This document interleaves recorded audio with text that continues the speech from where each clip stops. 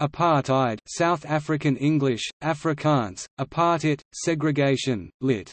separateness, was a system of institutionalized racial segregation that existed in South Africa from 1948 until the early 1990s. Apartheid was characterized by an authoritarian political culture based on Baasskap or white supremacy, which encouraged state repression of black African, colored, and Asian South Africans for the benefit of the nation's minority white population.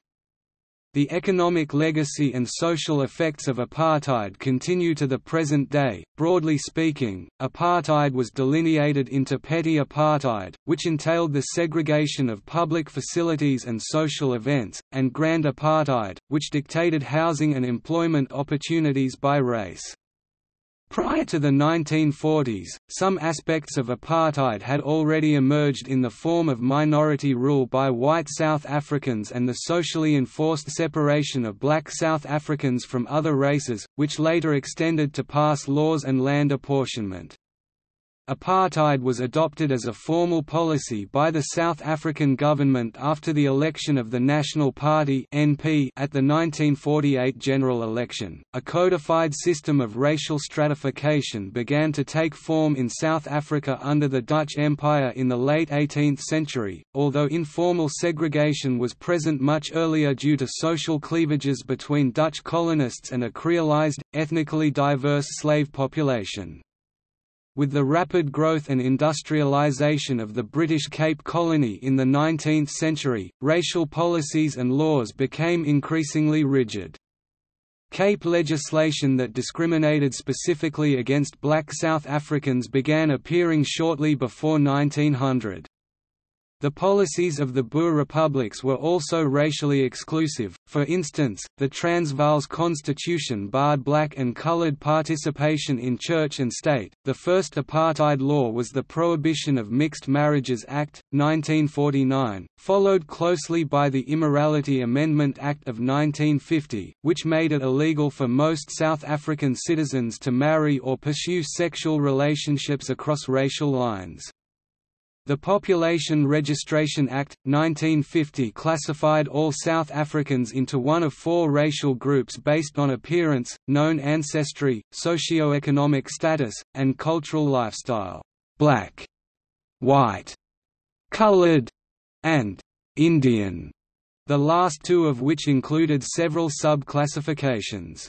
Places of residence were determined by racial classification. From 1960 to 1983, 3.5 million non-white South Africans were removed from their homes and forced into segregated neighborhoods, in one of the largest mass evictions in modern history. Most of these targeted removals were intended to restrict the black population to ten designated tribal homelands, also known as Bantustans, four of which became nominally independent states. The government announced that relocated persons would lose their South African citizenship as they were absorbed into the Bantustans. Apartheid sparked significant international and domestic opposition, resulting in some of the most influential global social movements of the 20th century. It was the target of frequent condemnation in the United Nations and brought about an extensive arms and trade embargo on South Africa. During the 1970s and 1980s, internal resistance to apartheid became increasingly militant, prompting brutal crackdowns by the National Party government and protracted sectarian violence that left thousands dead or in detention. Some reforms of the apartheid system were undertaken, including allowing for Indian and coloured political representation in parliament, but these measures failed to appease most activist groups.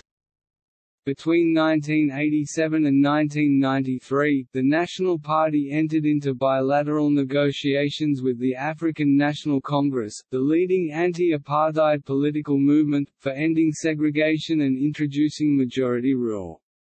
In 1990, prominent ANC figures such as Nelson Mandela were released from prison. Apartheid legislation was repealed on 17 June 1991, pending fully democratic, multiracial elections set for April 1994.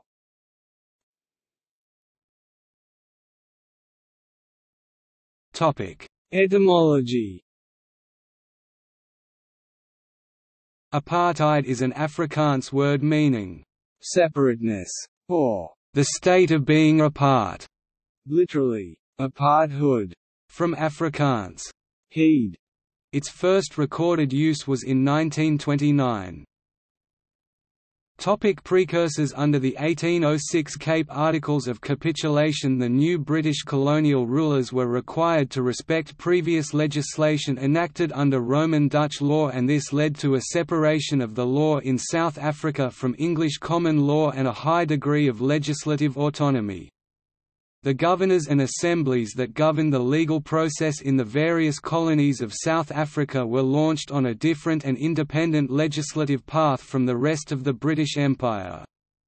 In the days of slavery, slaves required passes to travel away from their masters. In 1797 the Landdrost and Heemraden of Swellendam and Graaff-Reinet extended pass laws beyond slaves and ordained that all Khoikhoi designated as Hottentots moving about the country for any purpose should carry passes. This was confirmed by the British colonial government in 1809 by the Hottentot Proclamation, which decreed that if a Khoikhoi were to move they would need a pass from their master or a local official. Ordinance No. 49 of 1828 decreed that prospective black immigrants were to be granted passes for the sole purpose of seeking work. These passes were to be issued for coloureds and Khoikhoi, but not for other Africans, who were still forced to carry passes. The United Kingdom's Slavery Abolition Act 1833 3 and 4 will IVC 73 abolished slavery throughout the British Empire and overrode the Cape Articles of Capitulation. To comply with the Act the South African legislation was expanded to include Ordinance 1 in 1835, which effectively changed the status of slaves to indentured labourers. This was followed by Ordinance 3 in 1848, which introduced an indenture system for Xhosa that was little different from slavery. The various South African colonies passed legislation throughout the rest of the 19th century to limit the freedom of unskilled workers, to increase the restrictions on indentured workers and to regulate the relations between the races. The Franchise and Ballot Act of 1892 instituted limits based on financial means and education to the black franchise, and the Natal Legislative Assembly Bill of 1894 deprived Indians of the right to vote. The Glen Grey Act of 1894, instigated by the government of Prime Minister Cecil John Rhodes limited the amount of land Africans could hold.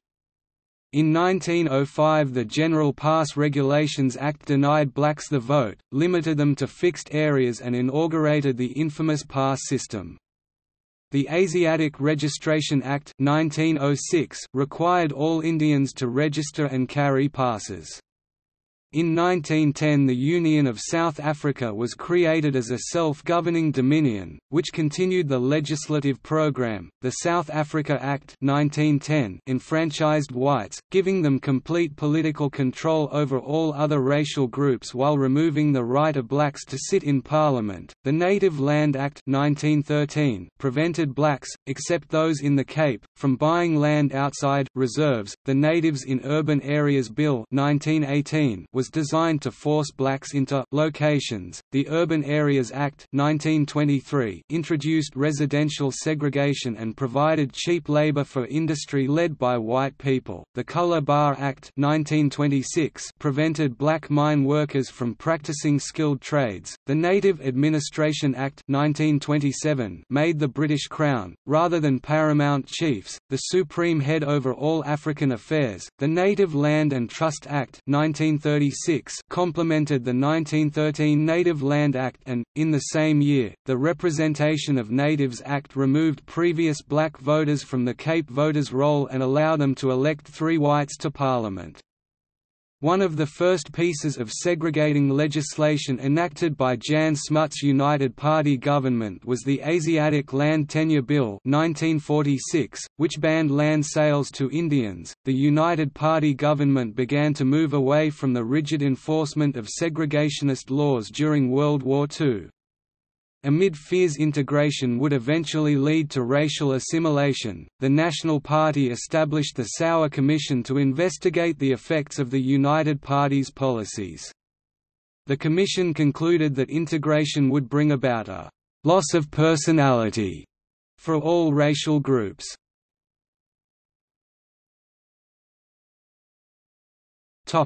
Institution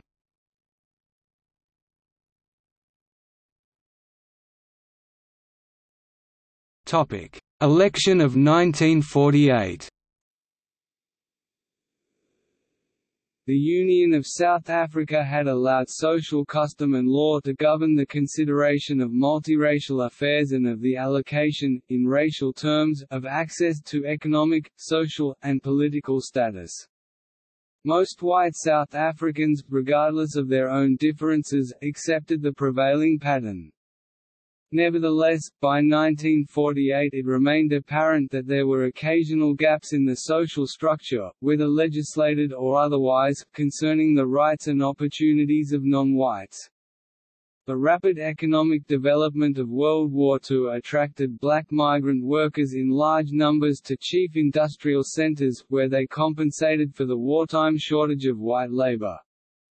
However, this escalated rate of black urbanization went unrecognized by the South African government, which failed to accommodate the influx with parallel expansion in housing or social services. Overcrowding, spiking crime rates, and disillusionment resulted. Urban blacks came to support a new generation of leaders influenced by the principles of self-determination and popular freedoms enshrined in such statements as the Atlantic Charter.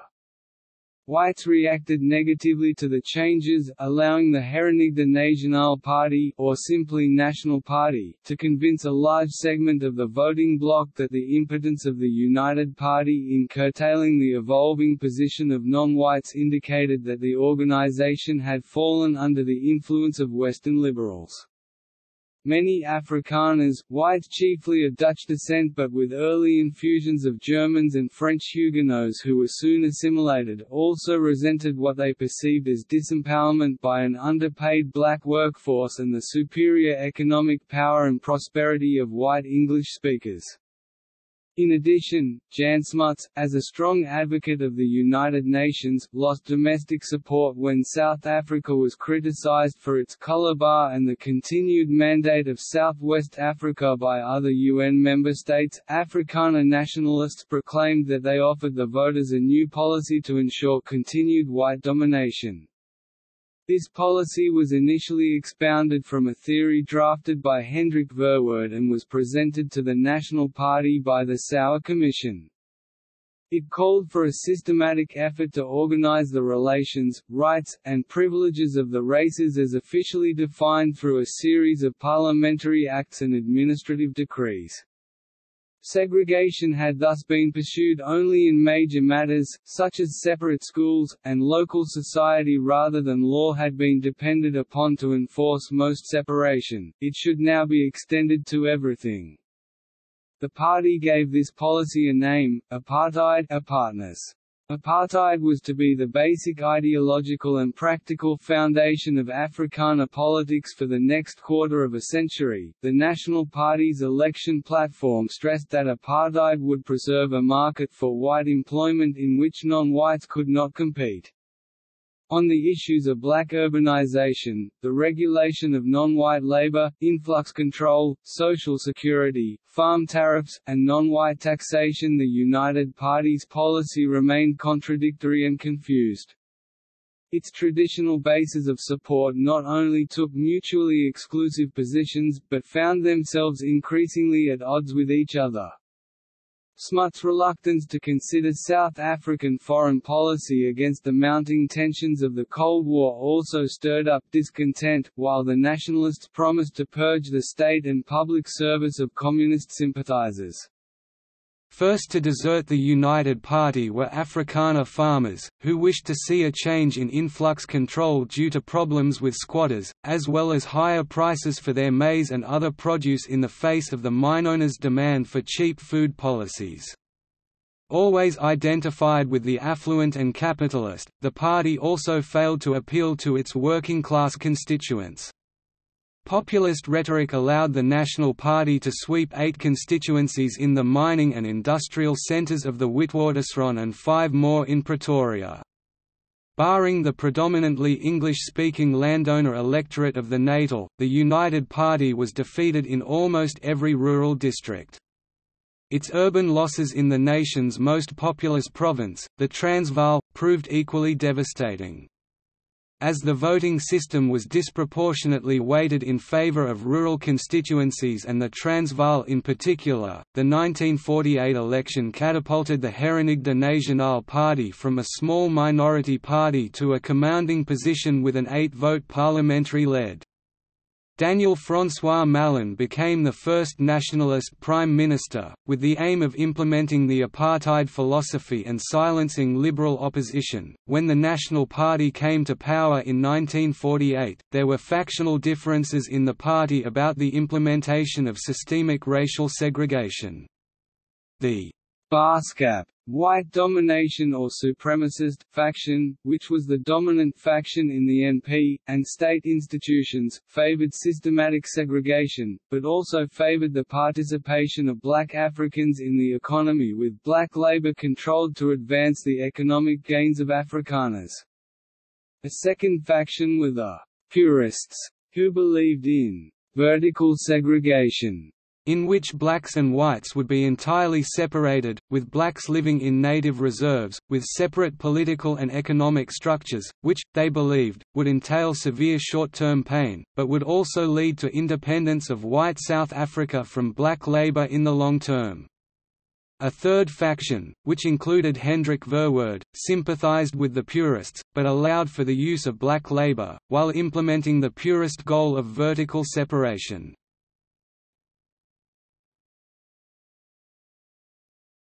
Topic: Legislation. NP leaders argued that South Africa did not comprise a single nation, but was made up of four distinct racial groups white, black, colored and Indian. Such groups were split into 13 nations or racial federations. White people encompassed the English and Afrikaans language groups, the black populace was divided into ten such groups. The state passed laws that paved the way for «grand apartheid», which was centered on separating races on a large scale, by compelling people to live in separate places defined by race. This strategy was in part adopted from «leftover» British rule that separated different racial groups after they took control of the Boer republics in the Anglo-Boer War. This created the black-only «townships» or locations, where blacks were relocated to their own towns. In addition, petty apartheid laws were passed. The principal apartheid laws were as follows, the first grand apartheid law was the Population Registration Act of 1950, which formalized racial classification and introduced an identity card for all persons over the age of 18, specifying their racial group. Official teams or boards were established to come to a conclusion on those people whose race was unclear.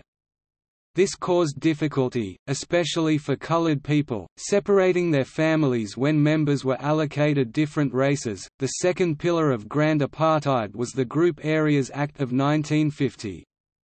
Until then, most settlements had people of different races living side by side. This act put an end to diverse areas and determined where one lived according to race. Each race was allotted its own area, which was used in later years as a basis of forced removal. The Prevention of Illegal Squatting Act of 1951 allowed the government to demolish black shanty town slums and forced white employers to pay for the construction of housing for those black workers who were permitted to reside in cities otherwise reserved for whites. The Prohibition of Mixed Marriages Act of 1949 prohibited marriage between persons of different races, and the Immorality Act of 1950 made sexual relations with a person of a different race a criminal offense. Under the Reservation of Separate Amenities Act of 1953, municipal grounds could be reserved for a particular race, creating, among other things, separate beaches, buses, hospitals, schools and universities. Signboards such as, "'Whites Only' applied to public areas, even including park benches. Black South Africans were provided with services greatly inferior to those of whites, and, to a lesser extent, to those of Indian and colored people. Further laws had the aim of suppressing resistance, especially armed resistance, to apartheid. The Suppression of Communism Act of 1950 banned any party subscribing to communism. The Act defined communism and its aims so sweepingly that anyone who opposed government policy risked being labeled as a communist. Since the law specifically stated that communism aimed to disrupt racial harmony, it was frequently used to gag opposition to apartheid. Disorderly gatherings were banned, as were certain organizations that were deemed threatening to the government. Education was segregated by the 1953 Bantu Education Act, which crafted a separate system of education for black South African students and was designed to prepare black people for lives as a laboring class. In 1959 separate universities were created for black, colored and Indian people. Existing universities were not permitted to enroll new black students. The Afrikaans Medium Decree of 1974 required the use of Afrikaans and English on an equal basis in high schools outside the homelands. The Bantu Authorities Act of 1951 created separate government structures for blacks and whites and was the first piece of legislation to support the government's plan of separate development in the Bantustans. The Promotion of Black Self-Government Act of 1959 entrenched the NP policy of nominally independent homelands for blacks, so-called self-governing Bantu units were proposed, which would have devolved administrative powers, with the promise later of autonomy and self-government. It also abolished the seats of white representatives of black South Africans and removed from the rolls the few blacks still qualified to vote. The Bantu Investment Corporation Act of 1959 set up a mechanism to transfer capital to the homelands to create employment there. Legislation of 1967 allowed the government to stop industrial development in white cities and redirect such development to the homelands.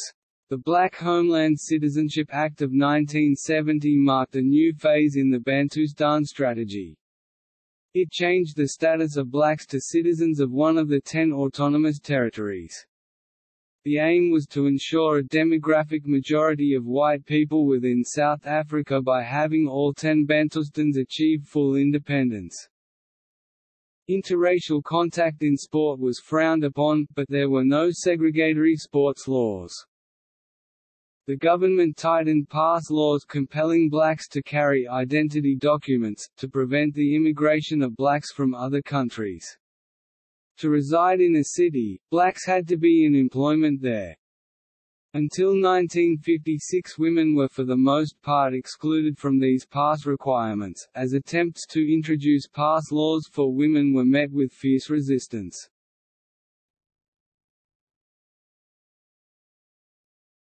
Topic: Disenfranchisement of colored voters. In 1950, D. F. Malan announced the NP's intention to create a colored affairs department. J. G. Strydom, Malan's successor as Prime Minister, moved to strip voting rights from black and colored residents of the Cape Province. The previous government had introduced the Separate Representation of Voters Bill into Parliament in 1951, however, four voters, G. Harris, W. D. Franklin, W. D. Collins and Edgar Deane, challenged its validity in court with support from the United Party. The Cape Supreme Court upheld the Act, but reversed by the Appeal Court, finding the Act invalid because a two-thirds majority in a joint sitting of both Houses of Parliament was needed to change the entrenched clauses of the Constitution. The government then introduced the High Court of Parliament Bill 1952, which gave Parliament the power to overrule decisions of the court. The Cape Supreme Court and the Appeal Court declared this invalid too. In 1955, the Strydom government increased the number of judges in the Appeal Court from 5 to 11, and appointed pro nationalist judges to fill the new places. In the same year, they introduced the Senate Act, which increased the Senate from 49 seats to 89. Adjustments were made such that the NP controlled 77 of these seats. The Parliament met in a joint sitting and passed the Separate Representation of Voters Act in 1956, which transferred coloured voters from the common voters' roll in the Cape to a new coloured voters' roll. Immediately after the vote, the Senate was restored to its original size. The Senate Act was contested in the Supreme Court, but the recently enlarged Appeal Court, packed with government-supporting judges, upheld the Act, and also the Act to remove colored voters. The 1956 law allowed coloreds to elect four people to Parliament, but a 1969 law abolished those seats and stripped coloreds of their right to vote. Since Asians had never been allowed to vote, this resulted in whites being the sole enfranchised group. A 2016 study in the Journal of Politics suggests that disenfranchisement in South Africa had a significant negative impact on basic service delivery to the disenfranchised.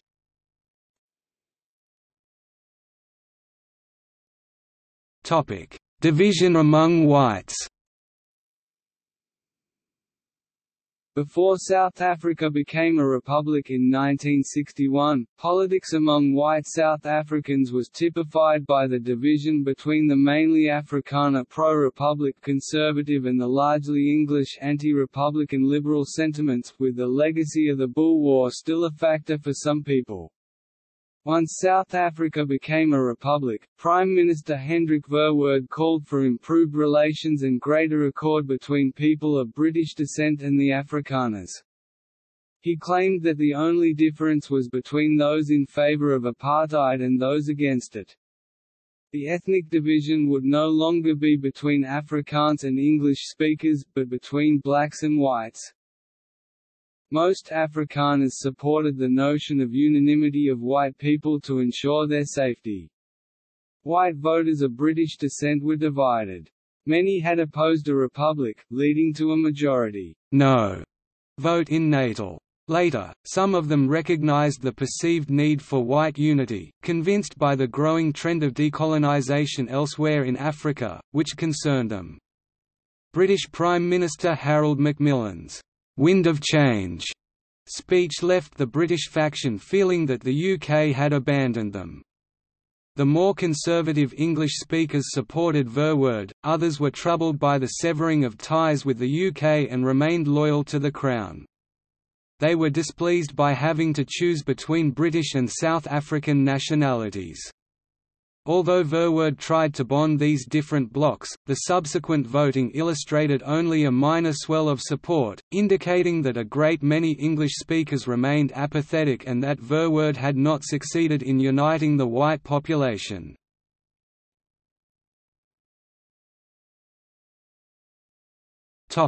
Homeland system Under the Homeland System, the government attempted to divide South Africa into a number of separate states, each of which was supposed to develop into a separate nation-state for a different ethnic group. Territorial separation was hardly a new institution. There were, for example, the reserves created under the British government in the 19th century. Under apartheid, 13% of the land was reserved for black homelands, a small amount relative to its total population, and generally in economically unproductive areas of the country. The Tomlinson Commission of 1954 justified apartheid and the homeland system, but stated that additional land ought to be given to the homelands, a recommendation that was not carried out. When Verwoerd became Prime Minister in 1958, the policy of separate development came into being, with the homeland structure as one of its cornerstones. Verwoerd came to believe in the granting of independence to these homelands. The government justified its plans on the ostensible basis that The government's policy is, therefore, not a policy of discrimination on the grounds of race or color, but a policy of differentiation on the ground of nationhood, of different nations, granting to each self-determination within the borders of their homelands, hence this policy of separate development.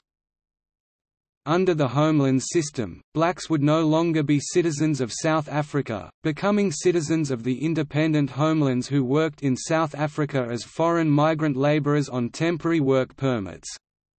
In 1958 the Promotion of Black Self-Government Act was passed, and Border Industries and the Bantu Investment Corporation were established to promote economic development and the provision of employment in or near the homelands. Many black South Africans who had never resided in their identified homeland were forcibly removed from the cities to the homelands.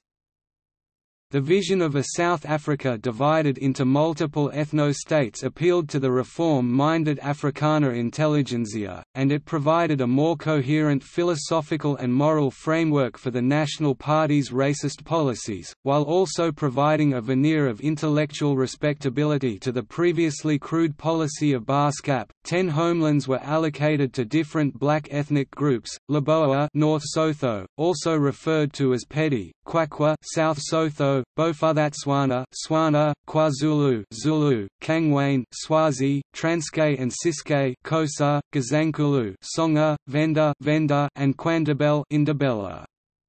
Four of these were declared independent by the South African government, Transkei in 1976, Bophuthatswana in 1977, Venda in 1979, and Ciskei in 1981 known as the TBVC states. Once a homeland was granted its nominal independence, its designated citizens had their South African citizenship revoked and replaced with citizenship in their homeland. These people were then issued passports instead of passbooks. Citizens of the nominally autonomous homelands also had their South African citizenship circumscribed, meaning they were no longer legally considered South African. The South African government attempted to draw an equivalence between their view of black citizens of the homelands and the problems which other countries faced through entry of illegal immigrants.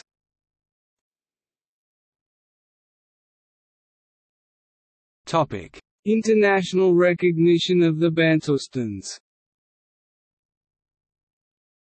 Bantustans within the borders of South Africa were classified as self-governing or independent. In theory, self-governing Bantustans had control over many aspects of their internal functioning but were not yet sovereign nations. Independent Bantustans, Transkei, Bophuthatswana, Venda and Ciskei, also known as the TBVC states, were intended to be fully sovereign. In reality, they had no significant economic infrastructure and with few exceptions encompassed swaths of disconnected territory.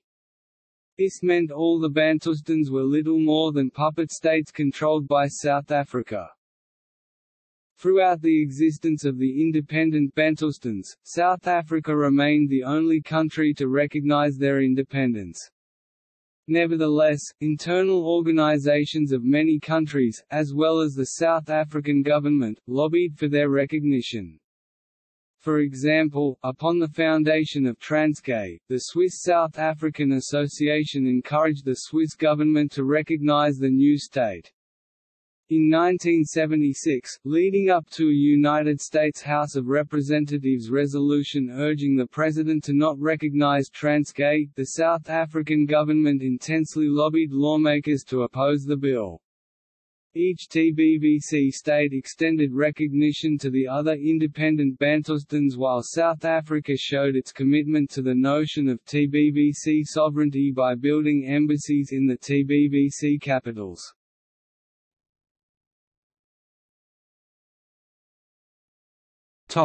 Forced removals. During the 1960s, 1970s and early 1980s, the government implemented a policy of resettlement to force people to move to their designated group areas. Millions of people were forced to relocate. These removals included people relocated due to slum clearance programs, labor tenants on white-owned farms, the inhabitants of the so-called black spots, black-owned land surrounded by white farms, the families of workers living in townships close to the homelands, and surplus people from urban areas, including thousands of people from the Western Cape which was declared a colored labor preference area who were moved to the Transkei and Ciskei homelands. The best publicized forced removals of the 1950s occurred in Johannesburg, when 60,000 people were moved to the new township of Soweto an abbreviation for Southwestern Townships. Until 1955, Sophiatown had been one of the few urban areas where black people were allowed to own land, and was slowly developing into a multiracial slum. As industry in Johannesburg grew, Sophiatown became the home of a rapidly expanding black workforce, as it was convenient and close to town. It had the only swimming pool for black children in Johannesburg. As one of the oldest black settlements in Johannesburg, it held an almost symbolic importance for the 50,000 black people it contained. Despite a vigorous ANC protest campaign and worldwide publicity, the removal of Sophiatown began on 9 February 1955 under the Western Areas Removal Scheme. In the early hours, heavily armed police forced residents out of their homes and loaded their belongings onto government trucks. The residents were taken to a large tract of land 19 kilometers 12 miles from the city center, known as Meadowlands, which the government had purchased in 1953. Meadowlands became part of a new planned black city called Soweto. Sophiatown was destroyed by bulldozers, and a new white suburb named Triomf, Triumph was built in its place. This pattern of forced removal and destruction was to repeat itself over the next few years, and was not limited to black South Africans alone.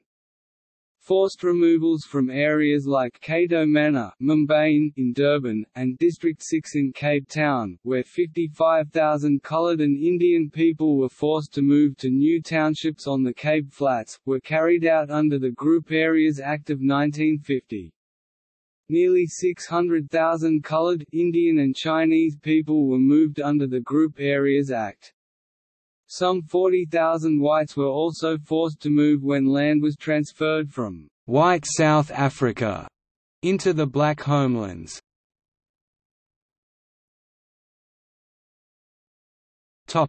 Petty apartheid The NP passed a string of legislation that became known as petty apartheid. The first of these was the Prohibition of Mixed Marriages Act 55 of 1949, prohibiting marriage between whites and people of other races. The Immorality Amendment Act 21 of 1950 as amended in 1957 by Act 23 forbade unlawful racial intercourse and any immoral or indecent act between a white and a black, Indian or colored person. Blacks were not allowed to run businesses or professional practices in areas designated as white South Africa unless they had a permit, such being granted only exceptionally. They were required to move to the black homelands and set up businesses and practices there. Transport and civil facilities were segregated. Trains, hospitals and ambulances were segregated. Because of the smaller numbers of white patients and the fact that white doctors preferred to work in white hospitals, conditions in white hospitals were much better than those in often overcrowded and understaffed, significantly underfunded black hospitals. Residential areas were segregated and blacks were only allowed to live in white areas if employed as a servant and even then only in servants' quarters. Blacks were excluded from working in white areas, unless they had a pass, nicknamed the Dompas, also spelt Dumpus or Dom Pass. The most likely origin of this name is from the Afrikaans, verdamd pa, meaning accursed pass, although some commentators ascribe it to the Afrikaans words meaning, dumb pass. Only blacks with Section 10 rights those who had migrated to the cities before World War II were excluded from this provision. A pass was issued only to a black with approved work. Spouses and children had to be left behind in black homelands. A pass was issued for one magisterial district usually one town confining the holder to that area only. Being without a valid pass made a person subject to arrest and trial for being an illegal migrant. This was often followed by deportation to the person's homeland and prosecution of the employer for employing an illegal migrant. Police vans patrolled white areas to round up blacks without passes. Blacks were not allowed to employ whites in white South Africa, although trade unions for black and colored workers had existed since the early 20th century, it was not until the 1980s reforms that a mass black trade union movement developed. Trade unions under apartheid were racially segregated, with 54 unions being white only, 38 for Indian and colored and 19 for black people. The Industrial Conciliation Act 1956 legislated against the creation of multi-racial trade unions and attempted to split existing multi-racial unions into separate branches or organizations along racial lines. In the 1970s, the state spent 10 times more per child on the education of white children than on black children within the Bantu education system, the education system in black schools within white South Africa. Higher education was provided in separate universities and colleges after 1959. Eight black universities were created in the homelands. Fort Hare University in the Ciskei now Eastern Cape was to register only Xhosa-speaking students. Sotho, Tswana, Pedi and Venda speakers were placed at the newly founded University College of the North at Turfloop, while the University College of Zululand was launched to serve Zulu students. Coloreds and Indians were to have their own establishments in the Cape and Natal respectively, each black homeland controlled its own education, health and police systems.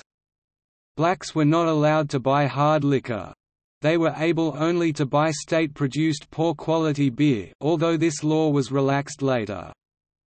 Public beaches, swimming pools, some pedestrian bridges, drive-in cinema parking spaces, graveyards, parks, and public toilets were segregated. Cinemas and theaters in white areas were not allowed to admit blacks. There were practically no cinemas in black areas. Most restaurants and hotels in white areas were not allowed to admit blacks except as staff. Blacks were prohibited from attending white churches under the Church's Native Laws Amendment Act of 1957, but this was never rigidly enforced and churches were one of the few places races could mix without the interference of the law. Blacks earning 360 Rand a year or more had to pay taxes while the white threshold was more than twice as high, at 750 Rand a year. On the other hand, the taxation rate for whites was considerably higher than that for blacks. Blacks could never acquire land in white areas. In the homelands, much of the land belonged to a tribe, where the local chieftain would decide how the land had to be used.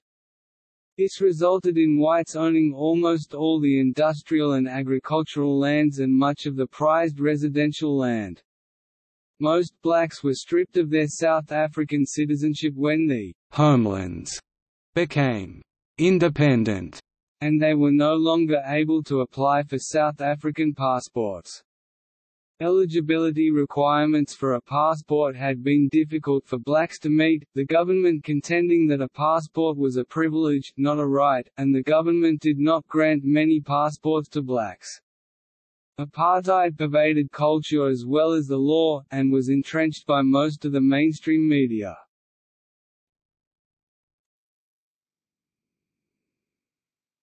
Topic: Colored classification. The population was classified into four groups, African, White, Indian and Colored capitalized to denote their legal definitions in South African law. The colored group included people regarded as being of mixed descent, including a Bantu, Khoisan, European and Malay ancestry. Many were descended from people brought to South Africa from other parts of the world, such as India, Sri Lanka, Madagascar, and China as slaves and indentured workers. The apartheid bureaucracy devised complex and often arbitrary criteria at the time that the Population Registration Act was implemented to determine who was colored. Minor officials would administer tests to determine if someone should be categorized either colored or black, or if another person should be categorized either colored or white. Different members of the same family found themselves in different race groups.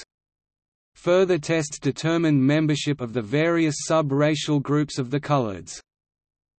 Many of those formerly classified as colored are opposed to the continuing use of the term colored in the post-apartheid era, though the term no longer signifies any legal meaning.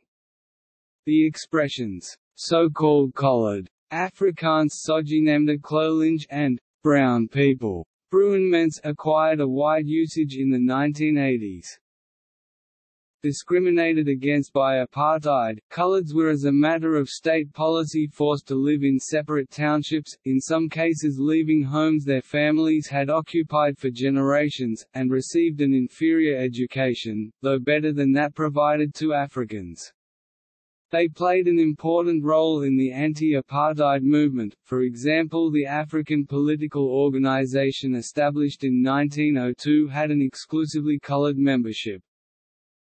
Voting rights were denied to coloreds in the same way that they were denied to blacks from 1950 to 1983.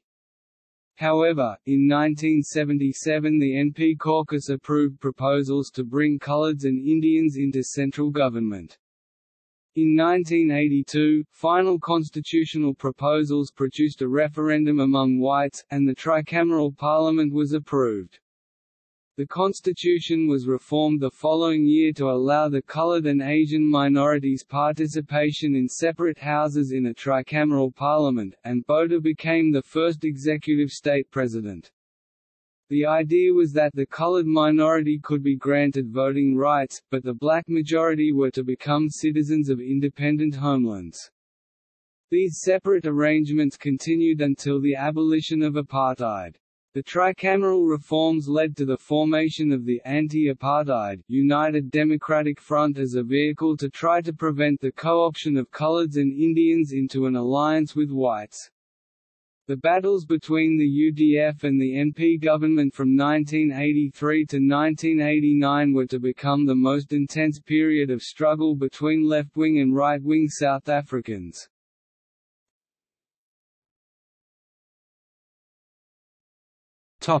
Women under apartheid.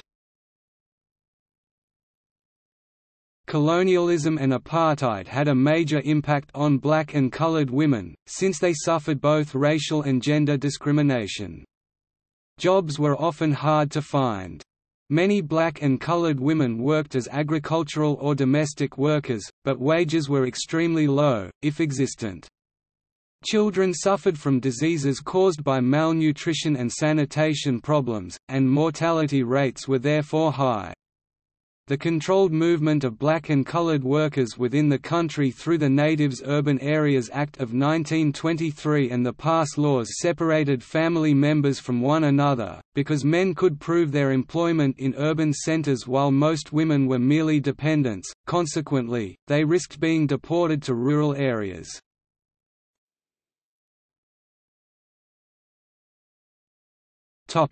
Sport under apartheid By the 1930s, association football mirrored the Balkanized society of South Africa. Football was divided into numerous institutions based on race: the white South African Football Association, the South African Indian Football Association (SAIFA), the South African African Football Association (SAAFA), and its rival the South African Bantu Football Association, and the South African Coloured Football Association SACFA. Lack of funds to provide proper equipment would be noticeable in regards to black amateur football matches, this revealed the unequal lives black South Africans were subject to, in contrast to whites, who were obviously much better off financially. Apartheid's social engineering made it more difficult to compete across racial lines. Thus, in an effort to centralize finances, the federations merged in 1951, creating the South African Soccer Federation (SASF), which brought black, Indian, and colored national associations into one body that opposed apartheid.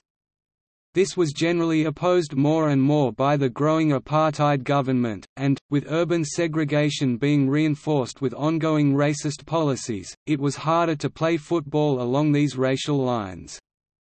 In 1956, the Pretoria regime, the administrative capital of South Africa, passed the first apartheid sports policy. By doing so, it emphasized the white-led government's opposition to interracialism.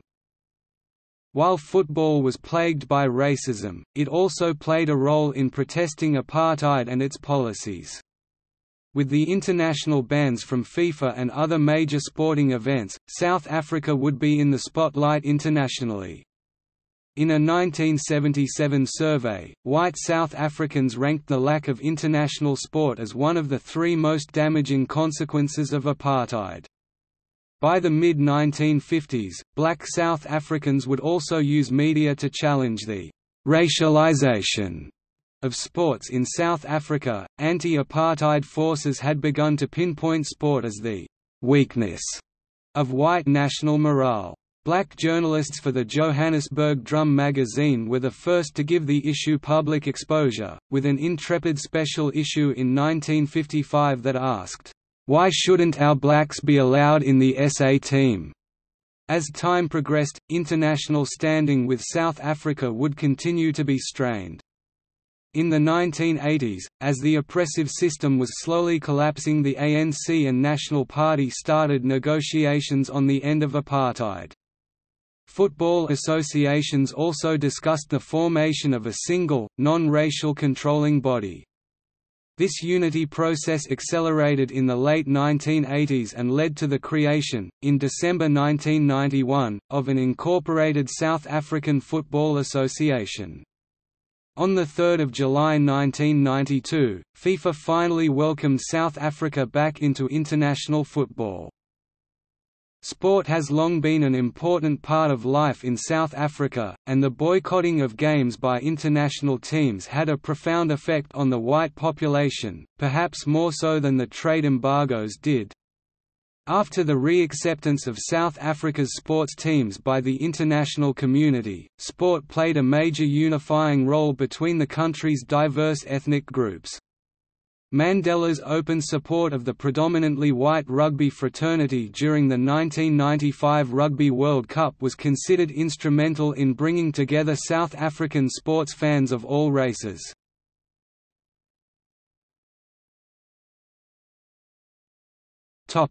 Asians during apartheid defining its Asian population, a minority that did not appear to belong to any of the initial three designated non-white groups, was a constant dilemma for the apartheid government. For political reasons, the classification of «honorary white» was granted to immigrants from Japan, South Korea and Taiwan, countries with which South Africa maintained diplomatic and economic relations, and to their descendants. Indian South Africans during apartheid were classified many ranges of categories from «Asian» to «black» to «colored» and even the mono-ethnic category of «Indian», but never as white, having been considered «non-white» throughout South Africa's history. The group faced severe discrimination during the apartheid regime and were subject to numerous racialist policies. In a study done by Josephine C. Naidoo and Devi Moodley Rajab, they interviewed a series of Indian South Africans about their experience in South Africa. Their study highlighted education, the workplace, and general day-to-day -day living for one specific participant who was a doctor, said that it was considered the norm for non-white and white doctors to mingle while working at the hospital but when there was any downtime or breaks, they were to go back to their segregated quarters. Not only was there severe segregation for doctors, non-white, more specifically Indians, were paid three to four times less than their white counterparts. Many described being treated as a third-class citizen due to the humiliation of the standard of treatment for non-white employees across many professions. Many Indians described a sense of justified superiority from whites due to the apartheid laws that, in the minds of white South Africans, legitimized those feelings. Another finding of this study was the psychological damage down to Indians living in South Africa during apartheid. One of the biggest long-term effects was interracial mistrust. Interracial mistrust is emotional hatred towards whites. There was such a strong degree of alienation that left damaging psychological effects of inferiority. Chinese South Africans, who were descendants of migrant workers who came to work in the gold mines around Johannesburg in the late 19th century, were initially either classified as colored or other Asian, and were subject to numerous forms of discrimination and restriction. It was not until 1984 that South African Chinese, increased to about 10,000, were given the same official rights as the Japanese, to be treated as whites in terms of the Group Areas Act, although they still faced discrimination and did not receive all the benefits, rights of their newly obtained honorary white status such as voting. Indonesians arrived at the Cape of Good Hope as slaves until the abolishment of slavery during the 1800s. They were predominantly Muslim, were allowed religious freedom and formed their own ethnic group, community known as Cape Malays. They were classified as part of the colored racial group. This was the same for South Africans of Malaysian descent who were also classified as part of the colored race and thus considered not white. South Africans of Filipino descent were classified as black due to historical outlook on Filipinos by white South Africans, and many of them lived in Bantustans.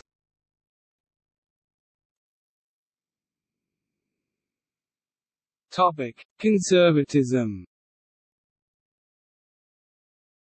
Alongside apartheid, the National Party implemented a program of social conservatism. Pornography and gambling were banned. Cinemas, shops selling alcohol and most other businesses were forbidden from opening on Sundays. Abortion, homosexuality and sex education were also restricted. Abortion was only legal in cases of rape or if the mother's life was threatened. Television was not introduced until 1976 because the government viewed English programming as a threat to the Afrikaans language.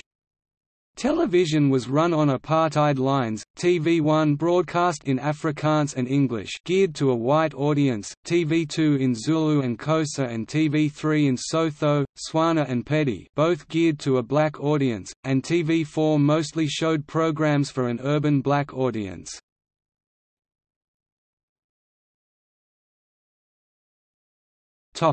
Internal resistance Apartheid sparked significant internal resistance. The government responded to a series of popular uprisings and protests with police brutality, which in turn increased local support for the armed resistance struggle. Internal resistance to the apartheid system in South Africa came from several sectors of society and saw the creation of organizations dedicated variously to peaceful protests, passive resistance and armed insurrection. In 1949, the youth wing of the African National Congress ANC took control of the organization and started advocating a radical black nationalist program. The new young leaders proposed that white authority could only be overthrown through mass campaigns. In 1950 that philosophy saw the launch of the Programme of Action, a series of strikes, boycotts and civil disobedience actions that led to occasional violent clashes with the authorities. In 1959, a group of disenchanted ANC members formed the Pan-Africanist Congress (PAC), which organized a demonstration against passbooks on the 21 March 1960. One of those protests was held in the township of Sharpeville, where 69 people were killed by police in the Sharpeville massacre. In the wake of Sharpeville, the government declared a state of emergency. More than 18,000 people were arrested, including leaders of the ANC and PAC, and both organizations were banned. The resistance went underground, with some leaders in exile abroad and others engaged in campaigns of domestic sabotage and terrorism. In May 1961, before the declaration of South Africa as a republic, an assembly representing the banned ANC called for negotiations between the members of the different ethnic groupings, threatening demonstrations and strikes during the inauguration of the republic if their calls were ignored. When the government overlooked them, the strikers among the main organizers was a 42-year-old, Thembu origin Nelson Mandela carried out their threats. The government countered swiftly by giving police the authority to arrest people for up to 12 days and detaining many strike leaders amid numerous cases of police brutality. Defeated, the protesters called off their strike. The ANC then chose to launch an armed struggle through a newly formed military wing, Umkhonto we Sizwe (MK), which would perform acts of sabotage on tactical state structures. Its first sabotage plans were carried out on 16 December 1961, the anniversary of the Battle of Blood River. In the 1970s, the Black consciousness movement was created by tertiary students influenced by the Black Power movement in the U.S. BC endorsed black pride and African customs and did much to alter the feelings of inadequacy instilled among black people by the apartheid system. The leader of the movement, Steve Biko, was taken into custody on 18 August 1977 and was beaten to death in detention. In 1976, secondary students in Soweto took to the streets in the Soweto Uprising to protest against the imposition of Afrikaans as the only language of instruction. On 16 June, police opened fire on students protesting peacefully. According to official reports 23 people were killed, but the number of people who died is usually given as 176, with estimates of up to 700. In the following years several student organizations were formed to protest against apartheid, and these organizations were central to urban school boycotts in 1980 and 1983 and rural boycotts in 1985 and 1986. In parallel with student protests, labor unions started protest action in 1973 and 1974. After 1976 unions and workers are considered to have played an important role in the struggle against apartheid, filling the gap left by the banning of political parties. In 1979 black trade unions were legalized and could engage in collective bargaining, although strikes were still illegal. Economist Thomas Sowell wrote that basic supply and demand led to violations of apartheid, on a massive scale, throughout the nation, simply because there were not enough white South African business owners to meet the demand for various goods and services. Large portions of the garment industry and construction of new homes, for example, were effectively owned and operated by blacks, who either worked surreptitiously or who circumvented the law with a white person as a nominal, figurehead manager. In 1983, anti apartheid leaders determined to resist the tricameral parliament assembled to form the United Democratic Front (UDF) in order to coordinate anti apartheid activism inside South Africa. The first presidents of the UDF were Archie Gumede, Oscar Mpetha and Albertina Sisulu. Patrons were Archbishop Desmond Tutu, Dr. Allan Boesak, Helen Joseph, and Nelson Mandela. Basing its platform on abolishing apartheid and creating a non-racial democratic South Africa, the UDF provided a legal way for domestic human rights groups and individuals of all races to organize demonstrations and campaign against apartheid inside the country. Churches and church groups also emerged as pivotal points of resistance. Church leaders were not immune to prosecution, and certain faith-based organizations were banned, but the clergy generally had more freedom to criticize the government than militant groups did. The UDF, coupled with the protection of the Church, accordingly permitted a major role for Archbishop Desmond Tutu, who served both as a prominent domestic voice and international spokesperson denouncing apartheid and urging the creation of a shared non-racial state. Although the majority of whites supported apartheid, some 20% did not. Parliamentary opposition was galvanized by Helen Suzman, Colin Eglin and Harry Schwarz, who formed the Progressive Federal Party. Extra-parliamentary resistance was largely centered in the South African Communist Party and women's organization the Black Sash. Women were also notable in their involvement in trade union organizations and banned political parties.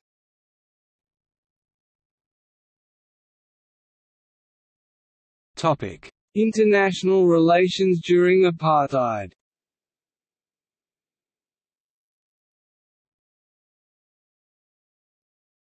Topic: Commonwealth. South Africa's policies were subject to international scrutiny in 1960, when UK Prime Minister Harold Macmillan criticised them during his Wind of Change speech in Cape Town. Weeks later, tensions came to a head in the Sharpeville massacre, resulting in more international condemnation. Soon afterwards, Prime Minister Hendrik Verwoerd announced a referendum on whether the country should become a republic. Verwoerd lowered the voting age for whites to 18 years of age and included whites in southwest Africa on the roll. The referendum on 5 October that year asked whites, Are you in favor of a republic for the Union? And 52% voted, Yes. As a consequence of this change of status, South Africa needed to reapply for continued membership of the Commonwealth, with which it had privileged trade links. India had become a republic within the Commonwealth in 1950, but it became clear that African and Asian member states would oppose South Africa due to its apartheid policies. As a result, South Africa withdrew from the Commonwealth on 31 May 1961, the day that the Republic came into existence.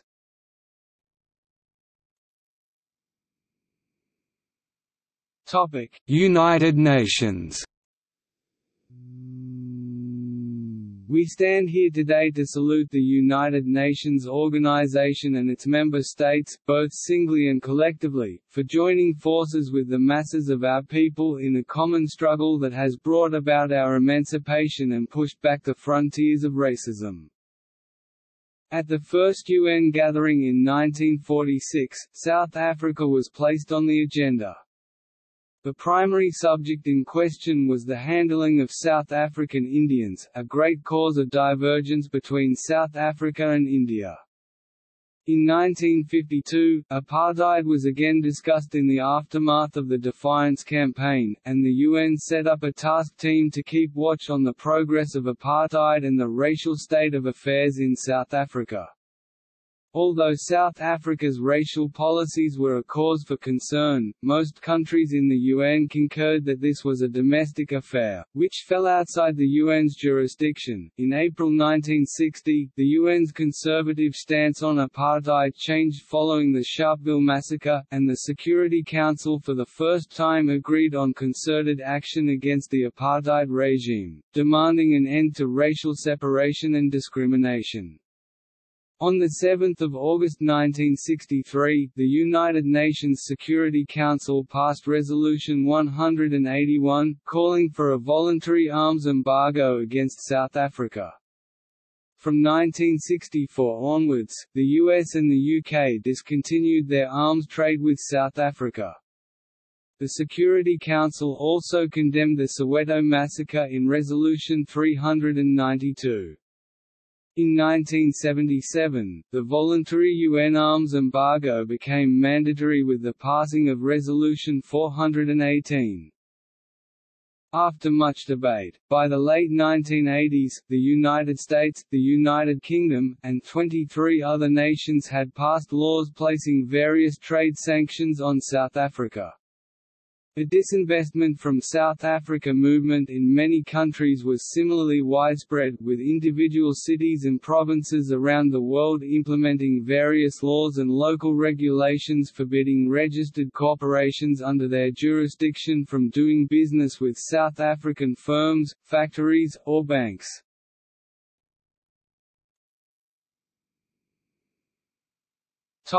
Catholic Church Pope John Paul II was an outspoken opponent of apartheid. In 1985, while visiting the Netherlands, he gave an impassioned speech at the International Court of Justice condemning apartheid, proclaiming that, "...no system of apartheid or separate development will ever be acceptable as a model for the relations between peoples or races." In September 1988, he made a pilgrimage to countries bordering South Africa, while demonstratively avoiding South Africa itself. During his visit to Zimbabwe, he called for economic sanctions against the South African government.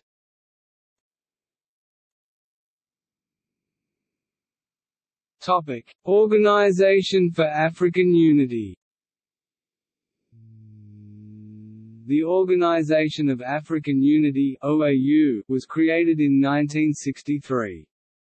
Its primary objectives were to eradicate colonialism and improve social, political and economic situations in Africa.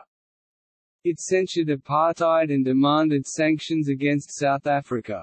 African states agreed to aid the liberation movements in their fight against apartheid. In 1969, 14 nations from Central and East Africa gathered in Lusaka, Zambia, and formulated the Lusaka Manifesto, which was signed on 13 April by all of the countries in attendance except Malawi. This manifesto was later taken on by both the OAU and the United Nations. The Lusaka Manifesto summarized the political situations of self-governing African countries, condemning racism and inequity, and calling for black majority rule in all African nations.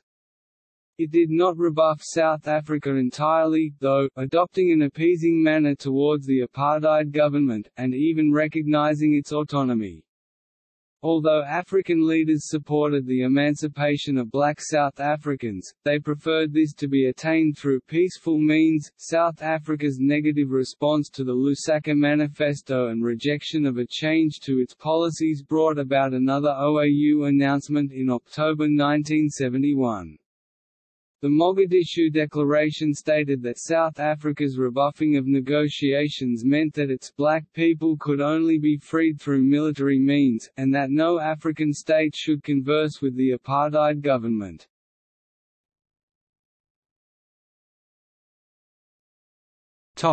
Outward-looking policy In 1966, B. J. Vorster became Prime Minister.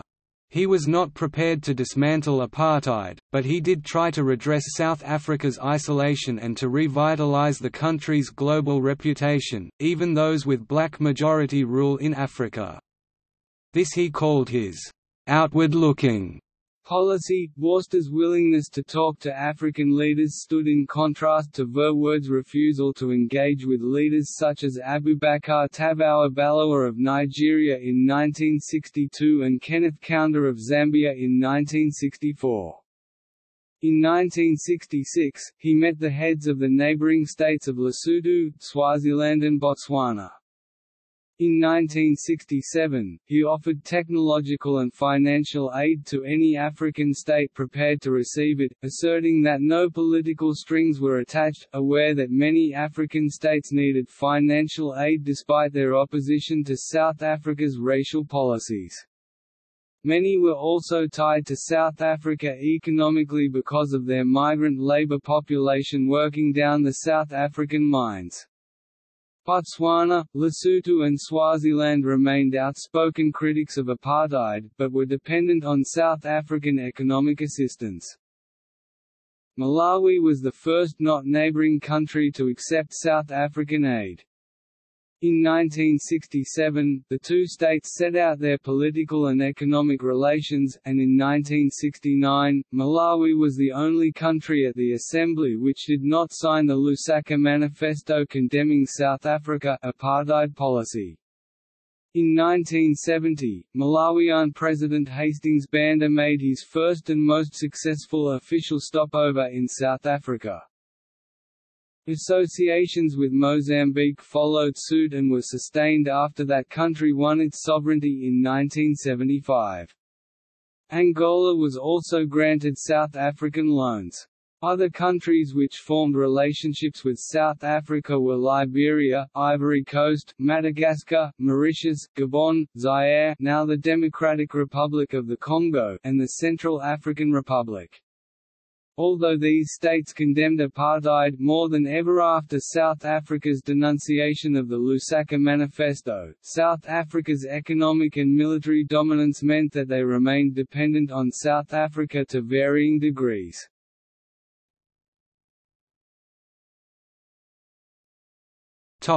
Sports and culture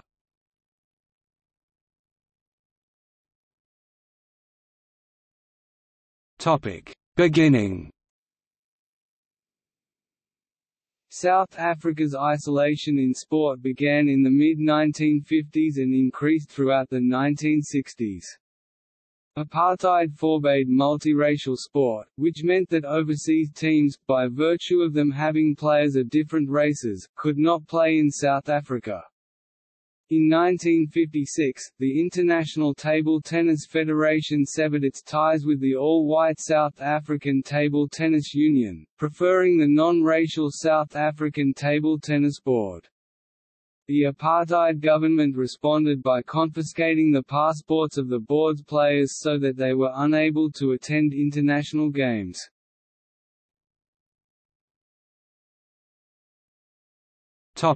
Isolation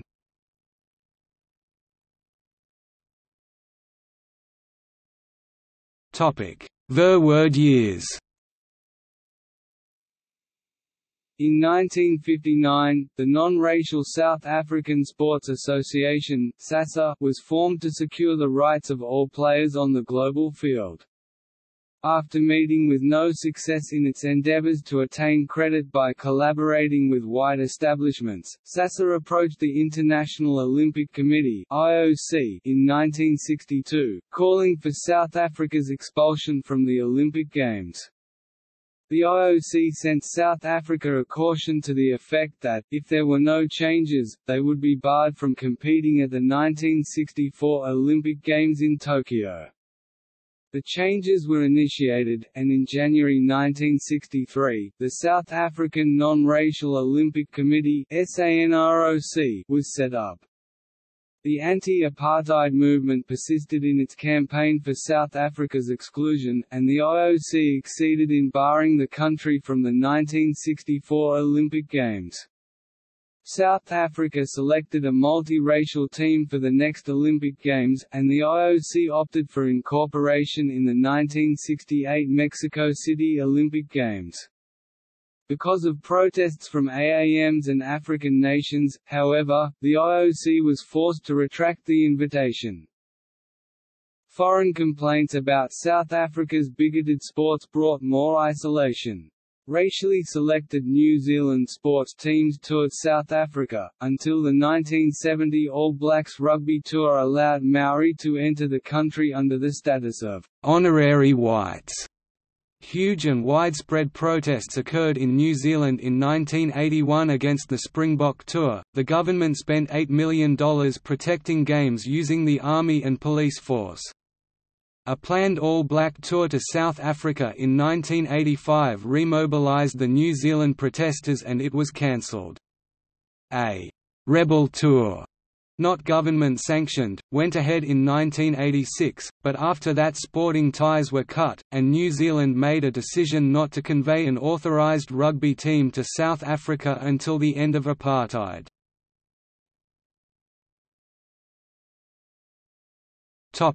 Vorster years Vorster succeeded Verwoerd as Prime Minister in 1966 following his assassination, and declared that South Africa would no longer dictate to other countries what their teams should look like. Although this reopened the gate for international sporting meets, it did not signal the end of South Africa's racist sporting policies. In 1968, Vorster went against his policy by refusing to permit Basil D'Oliveira, a coloured South African-born cricketer, to join the English cricket team on its tour to South Africa. Vorster said that the side had been chosen only to prove a point, and not on merit. Dolly was eventually included in the team as the first substitute, but the tour was cancelled. Protests against certain tours brought about the cancellation of a number of other visits, including that of an England rugby team touring South Africa in 1969–70. The first of the «white bands» occurred in 1971 when the chairman of the Australian Cricketing Association, Sir Don Bradman, flew to South Africa to meet Vorster. Vorster had expected Bradman to allow the tour of the Australian cricket team to go ahead, but things became heated after Bradman asked why black sportsmen were not allowed to play cricket. Vorster stated that blacks were intellectually inferior and had no finesse for the game. Bradman, thinking this ignorant and repugnant, asked Vorster if he had heard of a man named Garry Sobers. On his return to Australia, Bradman released a short statement, we will not play them until they choose a team on a non-racist basis." In South Africa, Vorster vented his anger publicly against Bradman, while the African National Congress rejoiced. This was the first time a predominantly white nation had taken the side of multiracial sport, producing an unsettling resonance that more «white» boycotts were coming. Almost 20 years later, on his release from prison, Nelson Mandela asked a visiting Australian statesman if Donald Bradman, his childhood hero, was still alive Bradman lived until 2001. In 1971, Vorster altered his policies even further by distinguishing multiracial from multinational sport. Multiracial sport, between teams with players of different races, remained outlawed. Multinational sport, however, was now acceptable. International sides would not be subject to South Africa's racial stipulations. In 1978, Nigeria boycotted the Commonwealth Games because New Zealand's sporting contacts with the South African government were not considered to be in accordance with the 1977 Gleneagles Agreement. Nigeria also led the 32-nation boycott of the 1986 Commonwealth Games because of UK Prime Minister Margaret Thatcher's ambivalent attitude towards sporting links with South Africa, significantly affecting the quality and profitability of the Games and thus thrusting apartheid into the international spotlight.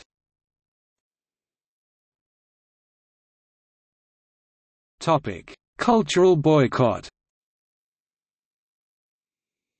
In the 1960s, the anti-apartheid movements began to campaign for cultural boycotts of apartheid South Africa.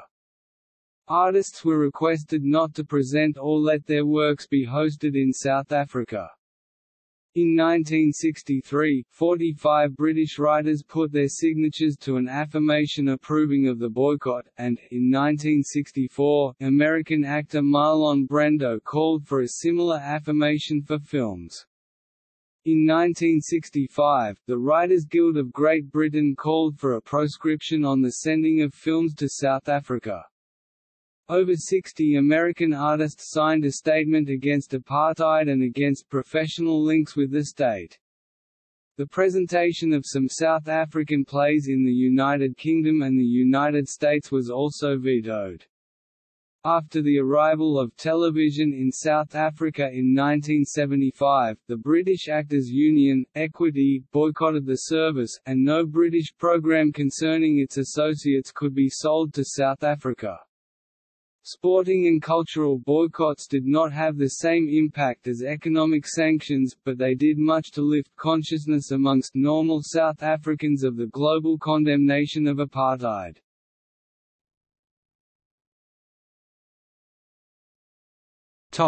Western influence While international opposition to apartheid grew, the Nordic countries, and Sweden in particular, provided both moral and financial support for the ANC. On 21 February 1986 a week before he was murdered, Sweden's Prime Minister Olof Palme made the keynote address to the Swedish People's Parliament against apartheid held in Stockholm. In addressing the hundreds of anti-apartheid sympathizers as well as leaders and officials from the ANC and the anti-apartheid movement such as Oliver Tambo, Palme declared, "...apartheid cannot be reformed, it has to be eliminated." Other Western countries adopted a more ambivalent position. In Switzerland, the Swiss South African Association lobbied on behalf of the South African government. In the 1980s, the Reagan administration and the Thatcher ministry in the UK followed a «constructive engagement» policy with the apartheid government, vetoing the imposition of UN economic sanctions, justified by a belief in free trade and a vision of South Africa as a bastion against Marxist forces in southern Africa. Thatcher declared the ANC a terrorist organization, and in 1987 her spokesman, Bernard Ingham, famously said that anyone who believed that the ANC would ever form the government of South Africa was living in cloud cuckoo land. The American Legislative Exchange Council ALEC, a conservative lobbying organization, actively campaigned against divesting from South Africa throughout the 1980s. By the late 1980s, with the tide of the Cold War turning and no sign of a political resolution in South Africa, Western patience began to run out. By 1989, a bipartisan Republican-Democratic initiative in the U.S. favored economic sanctions realized as the Comprehensive Anti-Apartheid Act of 1986, the release of Nelson Mandela and a negotiated settlement involving the ANC. Thatcher too began to take a similar line, but insisted on the suspension of the ANC's armed struggle. The UK's significant economic involvement in South Africa may have provided some leverage with the South African government, with both the UK and the US applying pressure and pushing for negotiations. However, neither the UK nor the US was willing to apply economic pressure upon their multinational interests in South Africa, such as the mining company Anglo American. Although a high-profile compensation claim against these companies was thrown out of court in 2004, the U.S. Supreme Court in May 2008 upheld an appeal court ruling allowing another lawsuit that seeks damages of more than $400 billion from major international companies which are accused of aiding South Africa's apartheid system.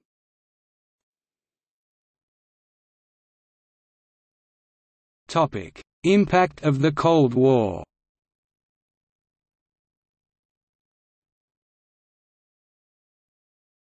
Topic: Total onslaught.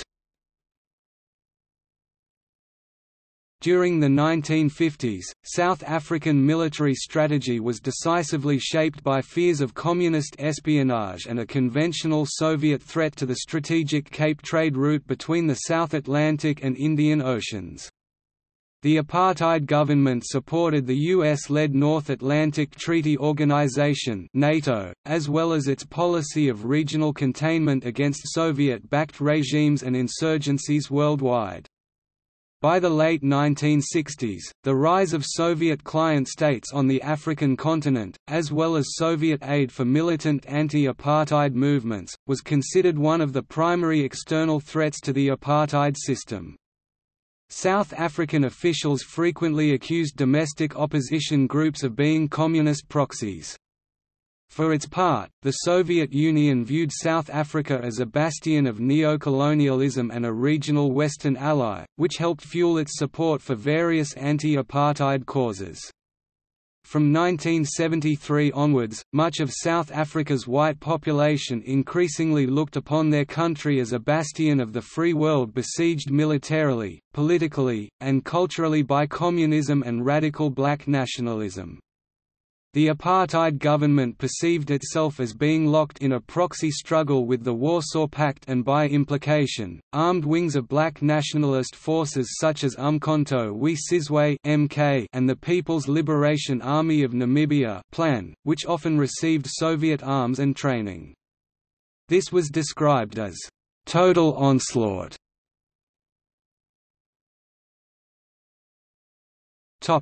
Israeli arms sales. Soviet support for militant anti-apartheid movements worked in the government's favor, as its claim to be reacting in opposition to aggressive communist expansion gained greater plausibility, and helped it justify its own domestic militarization methods, known as total strategy. Total strategy involved building up a formidable conventional military and counter-intelligence capability. It was formulated on counter-revolutionary tactics as espoused by noted French tactician André Beaufre. Considerable effort was devoted towards circumventing international arms sanctions, and the government even went so far as to develop nuclear weapons, allegedly with covert assistance from Israel. In 2010, The Guardian released South African government documents that revealed an Israeli offer to sell the apartheid regime nuclear weapons. Israel denied these allegations and claimed that the documents were minutes from a meeting which did not indicate any concrete offer for a sale of nuclear weapons. Shimon Peres said that The Guardian's article was based on selective interpretation and not on concrete facts. As a result of total strategy, South African society became increasingly militarized. Many domestic civil organizations were modeled upon military structures, and military virtues such as discipline, patriotism, and loyalty were highly regarded. In 1968, national service for white South African men lasted nine months at minimum, and they could be called up for reserve duty into their late middle age if necessary. The length of national service was gradually extended to 12 months in 1972 and 24 months in 1978. At state schools, white male students were organized into military-style formations and drilled as cadets or as participants in a civil defense or youth preparedness curriculum. Compulsory military education and in some cases, paramilitary training was introduced for all older white male students at state schools in three South African provinces. These programs presided over the construction of bomb shelters at schools and drills aimed at simulating mock insurgent raids. From the late 1970s to the late 1980s, defense budgets in South Africa were raised exponentially. In 1975, Israeli Defense Minister Shimon Peres signed a security pact with South African Defense Minister P.W. Botha that led to $200 million in arms deals. In 1988, Israeli arms sales to South Africa totaled over $1.4 billion. Covert operations focused on espionage and domestic counter-subversion became common, the number of Special Forces units swelled, and the South African Defence Force had amassed enough sophisticated conventional weaponry to pose a serious threat to the «frontline states» a regional alliance of neighboring countries opposed to apartheid.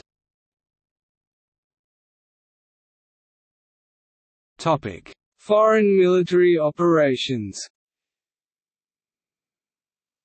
Total strategy was advanced in the context of MK, PLAN, and Azanian People's Liberation Army APLA guerrilla raids into South Africa or against South African targets in southwest Africa, frequent South African reprisal attacks on these movements' external bases in Angola, Zambia, Mozambique, Zimbabwe, Botswana, and elsewhere, often involving collateral damage to foreign infrastructure and civilian populations, and periodic complaints brought before the international community about South African violations of its neighbors' sovereignty. The apartheid government made judicious use of extraterritorial operations to eliminate its military and political opponents, arguing that neighboring states, including their civilian populations, which hosted, tolerated on their soil, or otherwise sheltered anti-apartheid insurgent groups could not evade responsibility for provoking retaliatory strikes.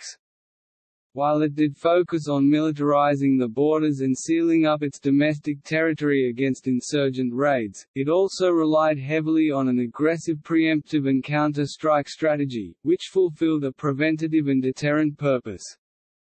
The reprisals which occurred beyond South Africa's borders involved not only hostile states, but neutral and sympathetic governments as well, often forcing them to react against their will and interests. External South African military operations were aimed at eliminating the training facilities, safehouses, infrastructure, equipment, and manpower of the insurgents.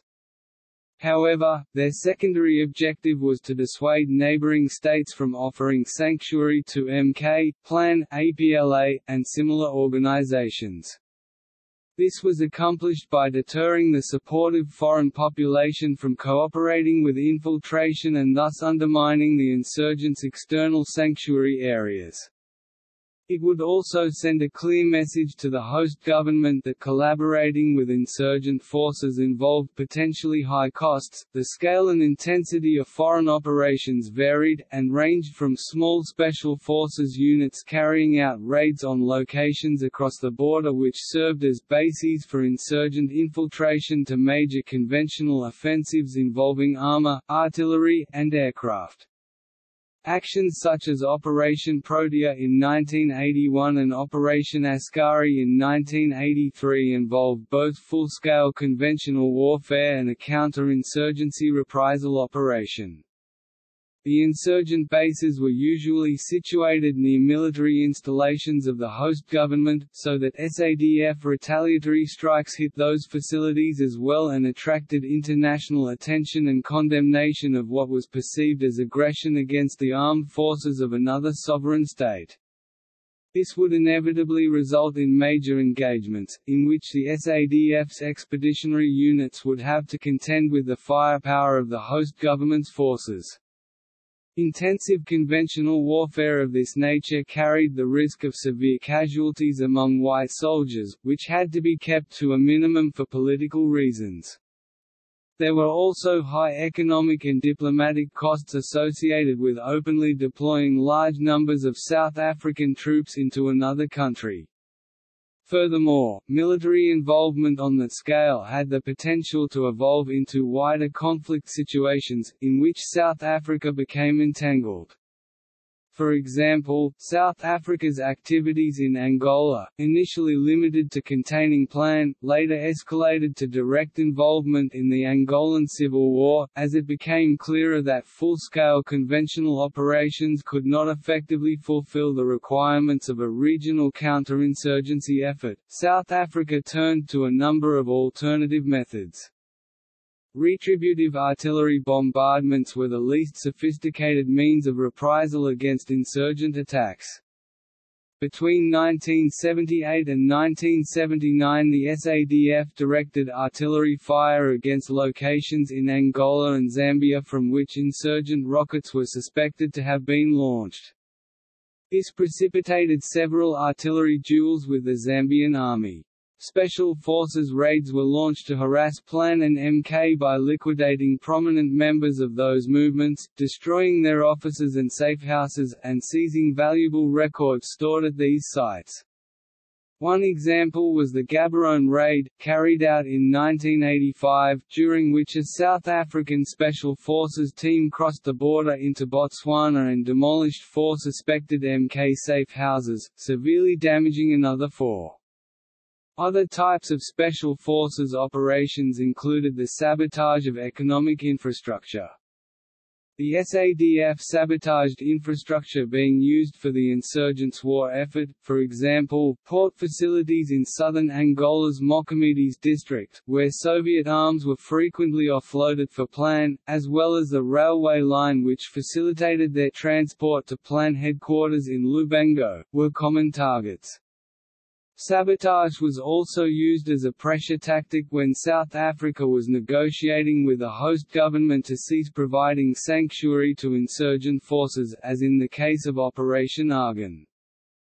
Successful sabotage actions of high-profile economic targets undermined a country's ability to negotiate from a position of strength, and made it likelier to accede to South African demands rather than risk the expense of further destruction and war. Also noteworthy were South African transnational espionage efforts, which included covert assassinations, kidnappings, and attempts to disrupt the overseas influence of anti-apartheid organizations.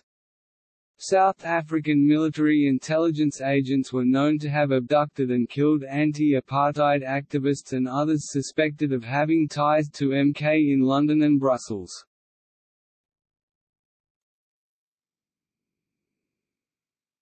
Topic: State security.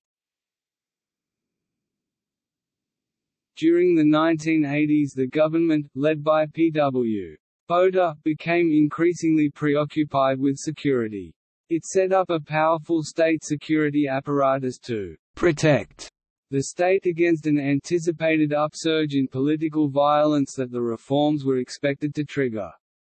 The 1980s became a period of considerable political unrest, with the government becoming increasingly dominated by Botha's circle of generals and police chiefs known as securocrats, who managed the various states of emergencies. Botha's years in power were marked also by numerous military interventions in the states bordering South Africa, as well as an extensive military and political campaign to eliminate SWAPO in Namibia. Within South Africa, meanwhile, vigorous police action and strict enforcement of security legislation resulted in hundreds of arrests and bans, and an effective end to the African National Congress sabotage campaign. The government punished political offenders brutally. 40,000 people annually were subjected to whipping as a form of punishment. The vast majority had committed political offences and were lashed ten times for their crime. If convicted of treason, a person could be hanged, and the government executed numerous political offenders in this way. As the 1980s progressed, more and more anti apartheid organizations were formed and affiliated with the UDF. Led by the Reverend Allan Boesak and Albertina Sisulu, the UDF called for the government to abandon its reforms and instead abolish the apartheid system and eliminate the homelands completely.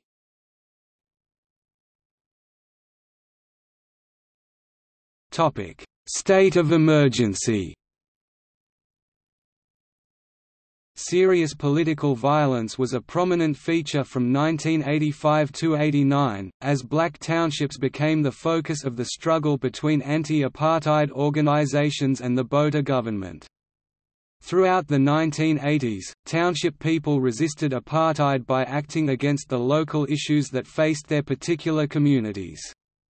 The focus of much of this resistance was against the local authorities and their leaders, who were seen to be supporting the government. By 1985, it had become the ANC's aim to make black townships ungovernable, a term later replaced by people's power by means of rent boycotts and other militant action. Numerous township councils were overthrown or collapsed, to be replaced by unofficial popular organizations, often led by militant youth. People's courts were set up, and residents accused of being government agents were dealt extreme and occasionally lethal punishments. Black town councillors and policemen, and sometimes their families, were attacked with petrol bombs, beaten, and murdered by necklacing, where a burning tire was placed around the victim's neck, after they were restrained by wrapping their wrists with barbed wire. This signature act of torture and murder was embraced by the ANC and its leaders. On 20 July 1985, Botha declared a state of emergency in 36 magisterial districts. Areas affected were the Eastern Cape, and the PWV region Pretoria, Witwatersrand, Vereeniging. Three months later, the Western Cape was included. An increasing number of organizations were banned or listed restricted in some way, many individuals had restrictions such as house arrest imposed on them. During this state of emergency, about 2,436 people were detained under the Internal Security Act. This act gave police and the military sweeping powers. The government could implement curfews controlling the movement of people. The president could rule by decree without referring to the constitution or to parliament. It became a criminal offense to threaten someone verbally or possess documents that the government perceived to be threatening, to advise anyone to stay away from work or to oppose the government, and to disclose the name of anyone arrested under the state of emergency until the government released that name, with up to 10 years imprisonment for these offenses. Detention without trial became a common feature of the government's reaction to growing civil unrest and by 1988, 30,000 people had been detained. The media was censored, thousands were arrested and many were interrogated and tortured. On the 12th of June 1986, 4 days before the 10th anniversary of the Soweto uprising, the state of emergency was extended to cover the whole country. The government amended the Public Security Act, including the right to declare «unrest» areas, allowing extraordinary measures to crush protests in these areas. Severe censorship of the press became a dominant tactic in the government's strategy and television cameras were banned from entering such areas. The state broadcaster, the South African Broadcasting Corporation SABC, provided propaganda in support of the government. Media opposition to the system increased, supported by the growth of a pro-ANC underground press within South Africa. In 1987, the state of emergency was extended for another two years. Meanwhile, about 200,000 members of the National Union of Mineworkers commenced the longest strike three weeks in South African history. The year 1988 saw the banning of the activities of the UDF and other anti-apartheid organizations. Much of the violence in the late 1980s and early 1990s was directed at the government, but a substantial amount was between the residents themselves. Many died in violence between members of Inkatha and the UDF-ANC faction. It was later proven that the government manipulated the situation by supporting one side or the other whenever it suited them. Government agents assassinated opponents within South Africa and abroad, they undertook cross-border army and air force attacks on suspected ANC and PAC bases. The ANC and the PAC in return detonated bombs at restaurants, shopping centres and government buildings such as magistrates' courts. Between 1960 to 1994, according to statistics from the Truth and Reconciliation Commission, the Inkatha Freedom Party was responsible for 4,500 deaths, South African security forces were responsible for 2,700 deaths and the ANC was responsible for 1,300 deaths. The state of emergency continued until 1990, when it was lifted by State President F. W. de Klerk.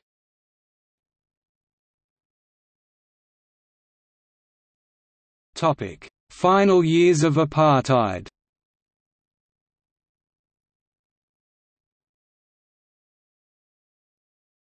Topic: Factors.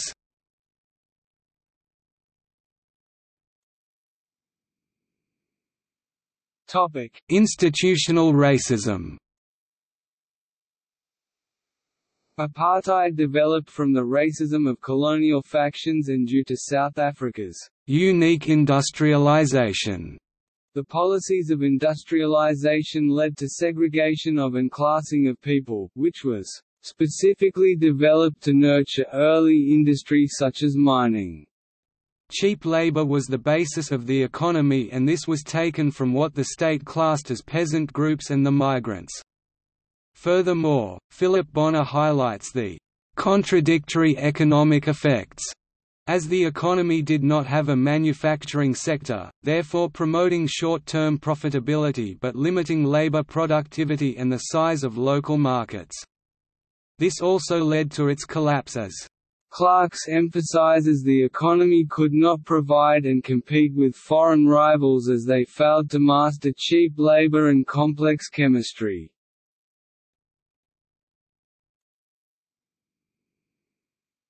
Topic: Economic contradictions. The contradictions in the traditionally capitalist economy of the apartheid state led to considerable debate about racial policy, and division and conflicts in the central state.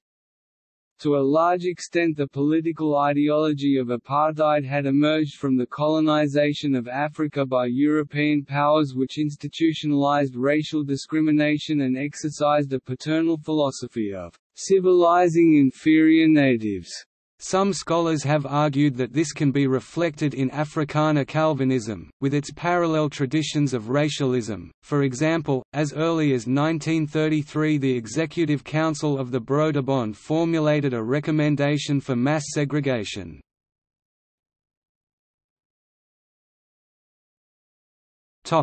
Western influence External Western influence can be seen as one of the factors that arguably greatly influenced political ideology, particularly due to the influences of colonization. South Africa in particular is argued to be an unreconstructed example of Western civilization twisted by racism. In the 1960s, South Africa experienced economic growth second only to that of Japan. Trade with Western countries grew, and investment from the United States, France and Britain poured in. In 1974, resistance to apartheid was encouraged by Portugal's withdrawal from Mozambique and Angola, after the 1974 Carnation Revolution. South African troops withdrew from Angola in early 1976, failing to prevent the MPLA from gaining power there, and black students in South Africa celebrated. The Mahlabatini Declaration of Faith, signed by Mangosuthu Buthelezi and Harry Schwarz in 1974, enshrined the principles of peaceful transition of power and equality for all. Its purpose was to provide a blueprint for South Africa by consent and racial peace in a multi-racial society, stressing opportunity for all, consultation, the federal concept, and a Bill of Rights. It caused a split in the United Party that ultimately realigned opposition politics in South Africa, with the formation of the Progressive Federal Party in 1977. It was the first of such agreements by acknowledged black and white political leaders in South Africa. In 1978, the defence minister of the NP, Peter Willem Botha, became prime minister. Botha's white regime was worried about the Soviet Union helping revolutionaries in South Africa, and the economy had slowed down. The new government noted that it was spending too much money trying to maintain the segregated homelands that had been created for blacks and the homelands were proving to be uneconomical, nor was maintaining blacks as a third class working well. The labor of blacks remained vital to the economy, and illegal black labor unions were flourishing. Many blacks remained too poor to make much of a contribution to the economy through their purchasing power, although they were more than 70% of the population. Botha's regime was afraid that an antidote was needed to prevent the blacks from being attracted to communism. In July 1979, the Nigerian government claimed that the Shell BP Petroleum Development Company of Nigeria Limited (SPDC) was selling Nigerian oil to South Africa, although there was little evidence or commercial logic for such sales. The alleged sanctions breaking was used to justify the seizure of some of BP's assets in Nigeria including their stake in SPDC, although it appears the real reasons were economic nationalism and domestic politics ahead of the Nigerian elections. Many South Africans attended schools in Nigeria, and Nelson Mandela several times acknowledged the role of Nigeria in the struggle against apartheid. In the 1980s, the anti apartheid movements in the United States and Europe were gaining support for boycotts against South Africa, for the withdrawal of U.S. firms from South Africa, and for the release of Mandela. South Africa was becoming an outlaw in the world community of nations. Investing in South Africa by Americans and others was coming to an end and an active policy of disinvestment ensued.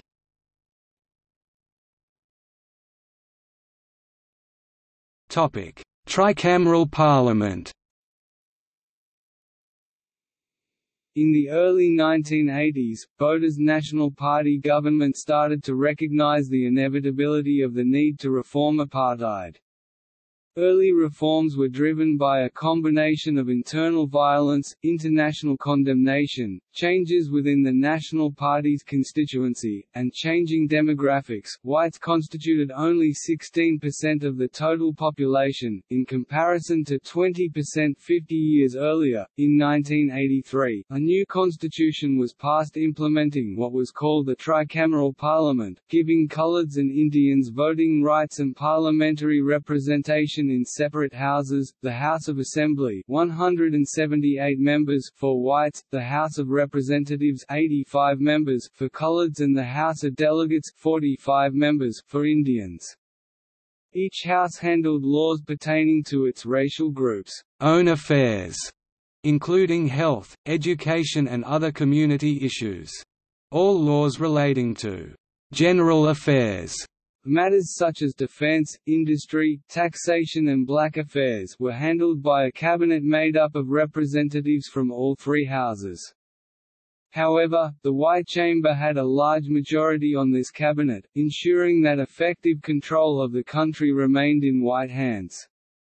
Blacks, although making up the majority of the population, were excluded from representation, they remained nominal citizens of their homelands. The first tricameral elections were largely boycotted by colored and Indian voters, amid widespread rioting.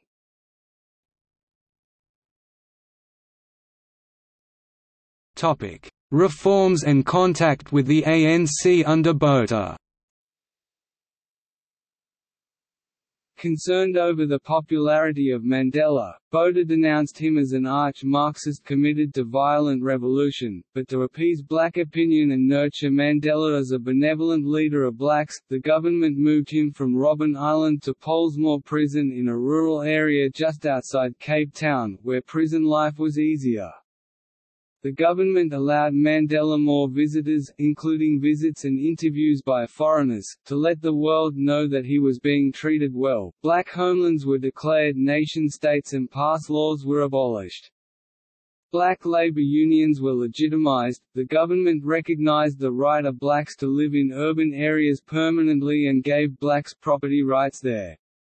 Interest was expressed in rescinding the law against interracial marriage and also rescinding the law against sex between the races, which was under ridicule abroad. The spending for black schools increased, to one-seventh of what was spent per white child, up from on one-sixteenth in 1968. At the same time, attention was given to strengthening the effectiveness of the police apparatus. In January 1985, Botha addressed the government's House of Assembly and stated that the government was willing to release Mandela on condition that Mandela pledge opposition to acts of violence to further political objectives. Mandela's reply was read in public by his daughter Zinzi, his first words distributed publicly since his sentence to prison 21 years before. Mandela described violence as the responsibility of the apartheid regime and said that with democracy there would be no need for violence. The crowd listening to the reading of his speech erupted in cheers and chants. This response helped to further elevate Mandela's status in the eyes of those, both internationally and domestically, who opposed apartheid. Between 1986 and 1988, some petty apartheid laws were repealed, along with the pass laws. Botha told white South Africans to adapt or die, and twice he wavered on the eve of what were billed as Rubicon announcements of substantial reforms, although on both occasions he backed away from substantial changes. Ironically, these reforms served only to trigger intensified political violence through the remainder of the 80s as more communities and political groups across the country joined the resistance movement. Botha's government stopped short of substantial reforms, such as lifting the ban on the ANC, PAC and SACP and other liberation organizations, releasing political prisoners, or repealing the foundation laws of Grand Apartheid. The government's stance was that they would not contemplate negotiating until those organizations renounced violence by 1987, South Africa's economy was growing at one of the lowest rates in the world, and the ban on South African participation in international sporting events was frustrating many whites in South Africa. Examples of African states with black leaders and white minorities existed in Kenya and Zimbabwe. Whispers of South Africa one day having a black president sent more hardline whites into rightist parties. Mandela was moved to a four-bedroom house of his own, with a swimming pool and shaded by fir trees, on a prison farm just outside Cape Town. He had an unpublicized meeting with Botha. Botha impressed Mandela by walking forward, extending his hand and pouring Mandela's tea. The two had a friendly discussion, with Mandela comparing the African National Congress rebellion with that of the Afrikaner rebellion and talking about everyone being brothers. A number of clandestine meetings were held between the ANC in exile and various sectors of the internal struggle, such as women and educationalists. More overtly, a group of white intellectuals met the ANC in Senegal for talks known as the Dakar Conference.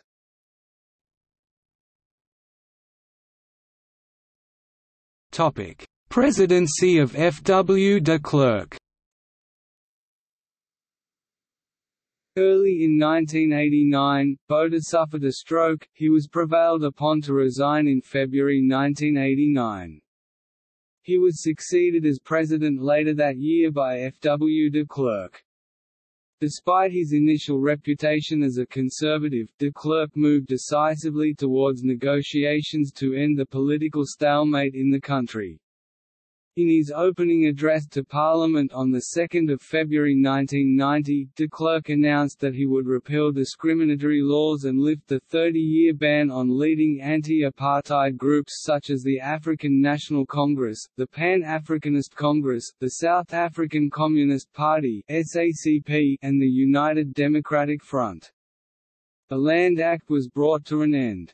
De Klerk also made his first public commitment to release Nelson Mandela, to return to press freedom and to suspend the death penalty. Media restrictions were lifted and political prisoners not guilty of common law crimes were released.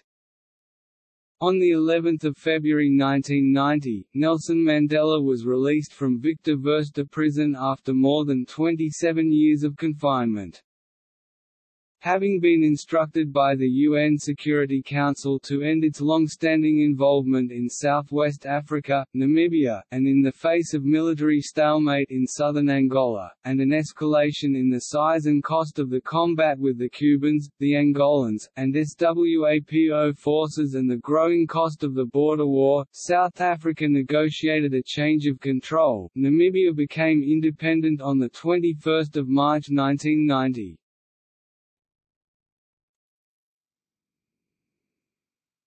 Topic: Negotiations. Apartheid was dismantled in a series of negotiations from 1990 to 1991, culminating in a transitional period which resulted in the country's 1994 general elections, the first in South Africa held with universal suffrage. In 1990 negotiations were earnestly begun, with two meetings between the government and the ANC. The purpose of the negotiations was to pave the way for talks towards a peaceful transition towards majority rule. These meetings were successful in laying down the preconditions for negotiations, despite the considerable tensions still abounding within the country. Apartheid legislation was abolished in 1991. At the first meeting, the NP and ANC discussed the conditions for negotiations to begin. The meeting was held at Groote Schuur, the president's official residence. They released the Groote Schuur Minute, which said that before negotiations commenced political prisoners would be freed and all exiles allowed to return.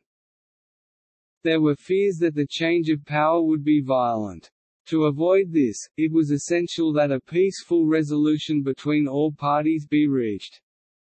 In December 1991, the Convention for a Democratic South Africa CODESA began negotiations on the formation of a multiracial transitional government and a new constitution extending political rights to all groups.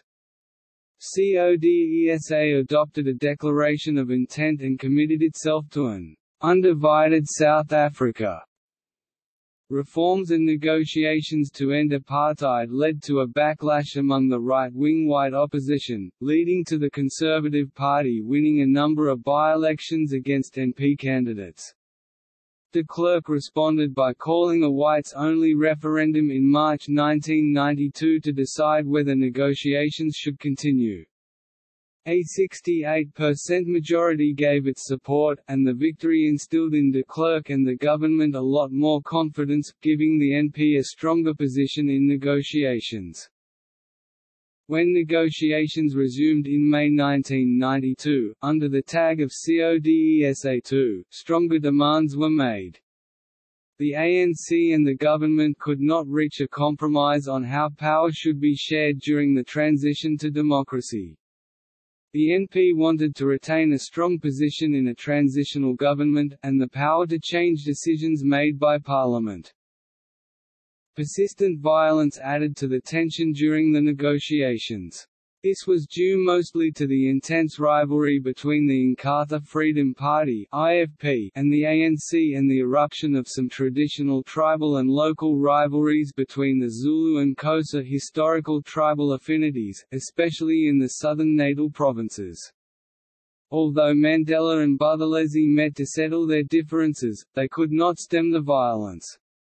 One of the worst cases of ANC-IFP violence was the Boipatong massacre of 17 June 1992, when 200 IFP militants attacked the Gauteng township of Boipatong, killing 45.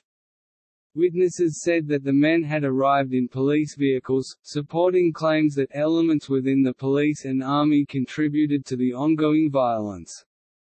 Subsequent judicial inquiries found the evidence of the witnesses to be unreliable or discredited, and that there was no evidence of National Party or police involvement in the massacre.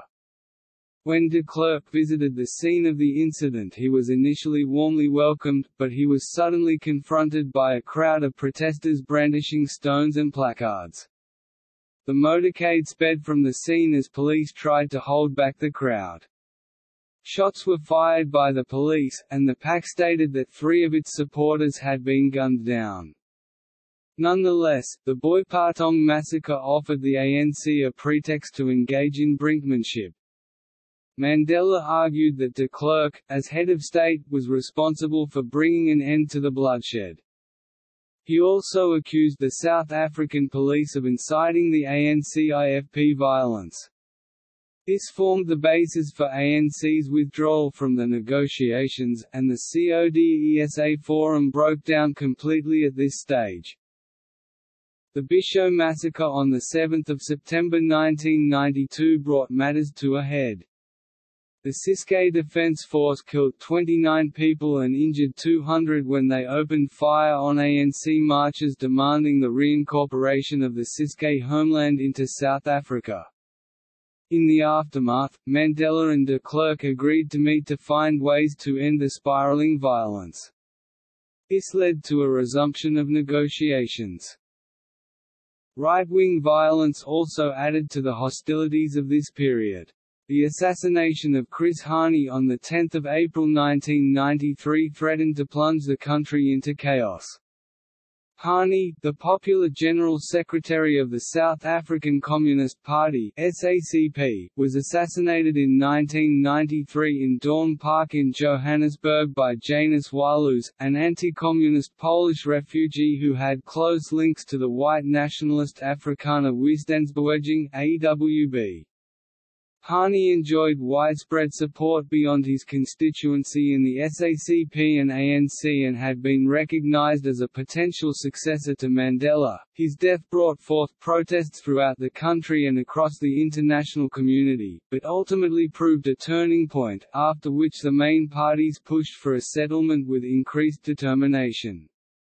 On 25 June 1993, the AWB used an armoured vehicle to crash through the doors of the Kempton Park World Trade Center where talks were still going ahead under the negotiating council, though this did not derail the process. In addition to the continuing black on black violence, there were a number of attacks on white civilians by the PAC's military wing, the Azanian People's Liberation Army APLA. The PAC was hoping to strengthen their standing by attracting the support of the angry, impatient youth.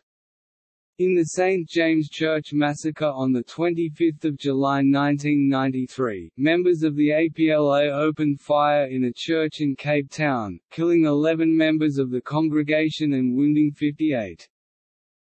In 1993 de Klerk and Mandela were jointly awarded the Nobel Peace Prize for their work for the peaceful termination of the apartheid regime, and for laying the foundations for a new democratic South Africa. Violence persisted right up to the 1994 elections. Lucas Mangope, leader of the Bophuthatswana homeland, declared that it would not take part in the elections. It had been decided that, once the temporary constitution had come into effect, the homelands would be incorporated into South Africa, but Mangope did not want this to happen. There were strong protests against his decision, leading to a coup d'état in Bofa Bophuthatswana on 10 March that deposed Mangope, despite the intervention of white right-wingers hoping to maintain him in power. Three AWB militants were killed during this intervention, and harrowing images were shown on national television and in newspapers across the world.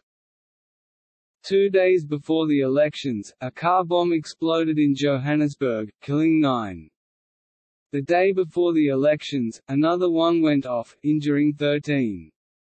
At midnight on 26 to 27 April 1994 the old flag was lowered, and the old now co-official, national anthem Die Stem the call", was sung, followed by the raising of the new rainbow flag and singing of the other co-official anthem, Nkosi Sikelel' iAfrika, God Bless Africa.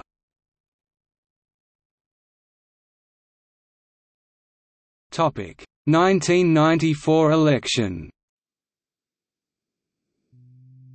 The election was held on 27 April 1994 and went off peacefully throughout the country as 20 million South Africans cast their votes.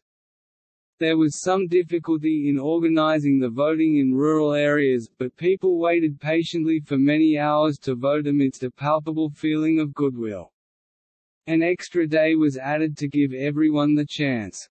International observers agreed that the elections were free and fair. The European Union's report on the election compiled at the end of May 1994, published two years after the election, criticized the Independent Electoral Commission's lack of preparedness for the polls, the shortages of voting materials at many voting stations, and the absence of effective safeguards against fraud in the counting process. In particular, it expressed disquiet that, "...no international observers had been allowed to be present at the crucial stage of the count when party representatives negotiated over disputed ballots." This meant that both the electorate and the world were "...simply left to guess at the way the final result was achieved."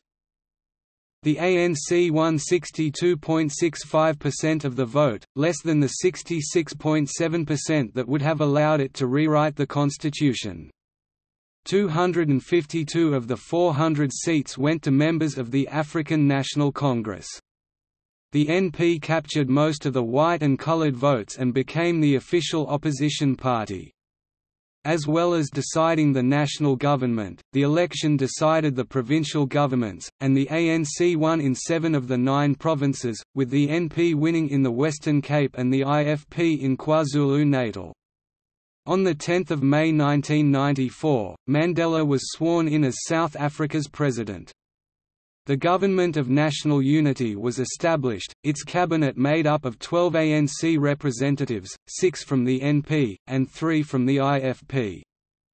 Thabo Mbeki and de Klerk were made deputy presidents. The anniversary of the elections, the 27th of April, is celebrated as a public holiday known as Freedom Day.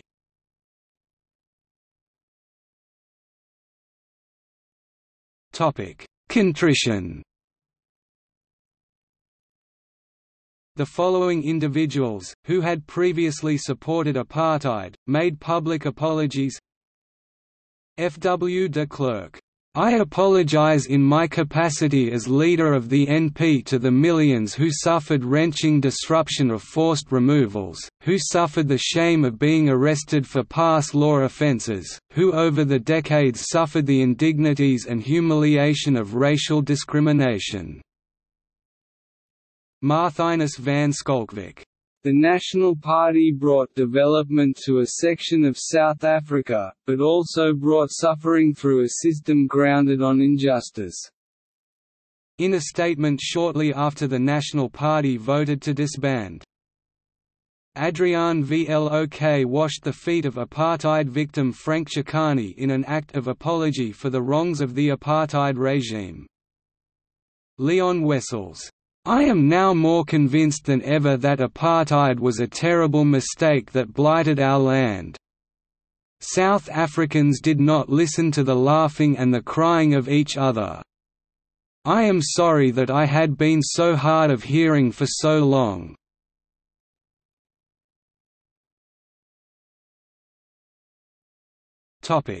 See also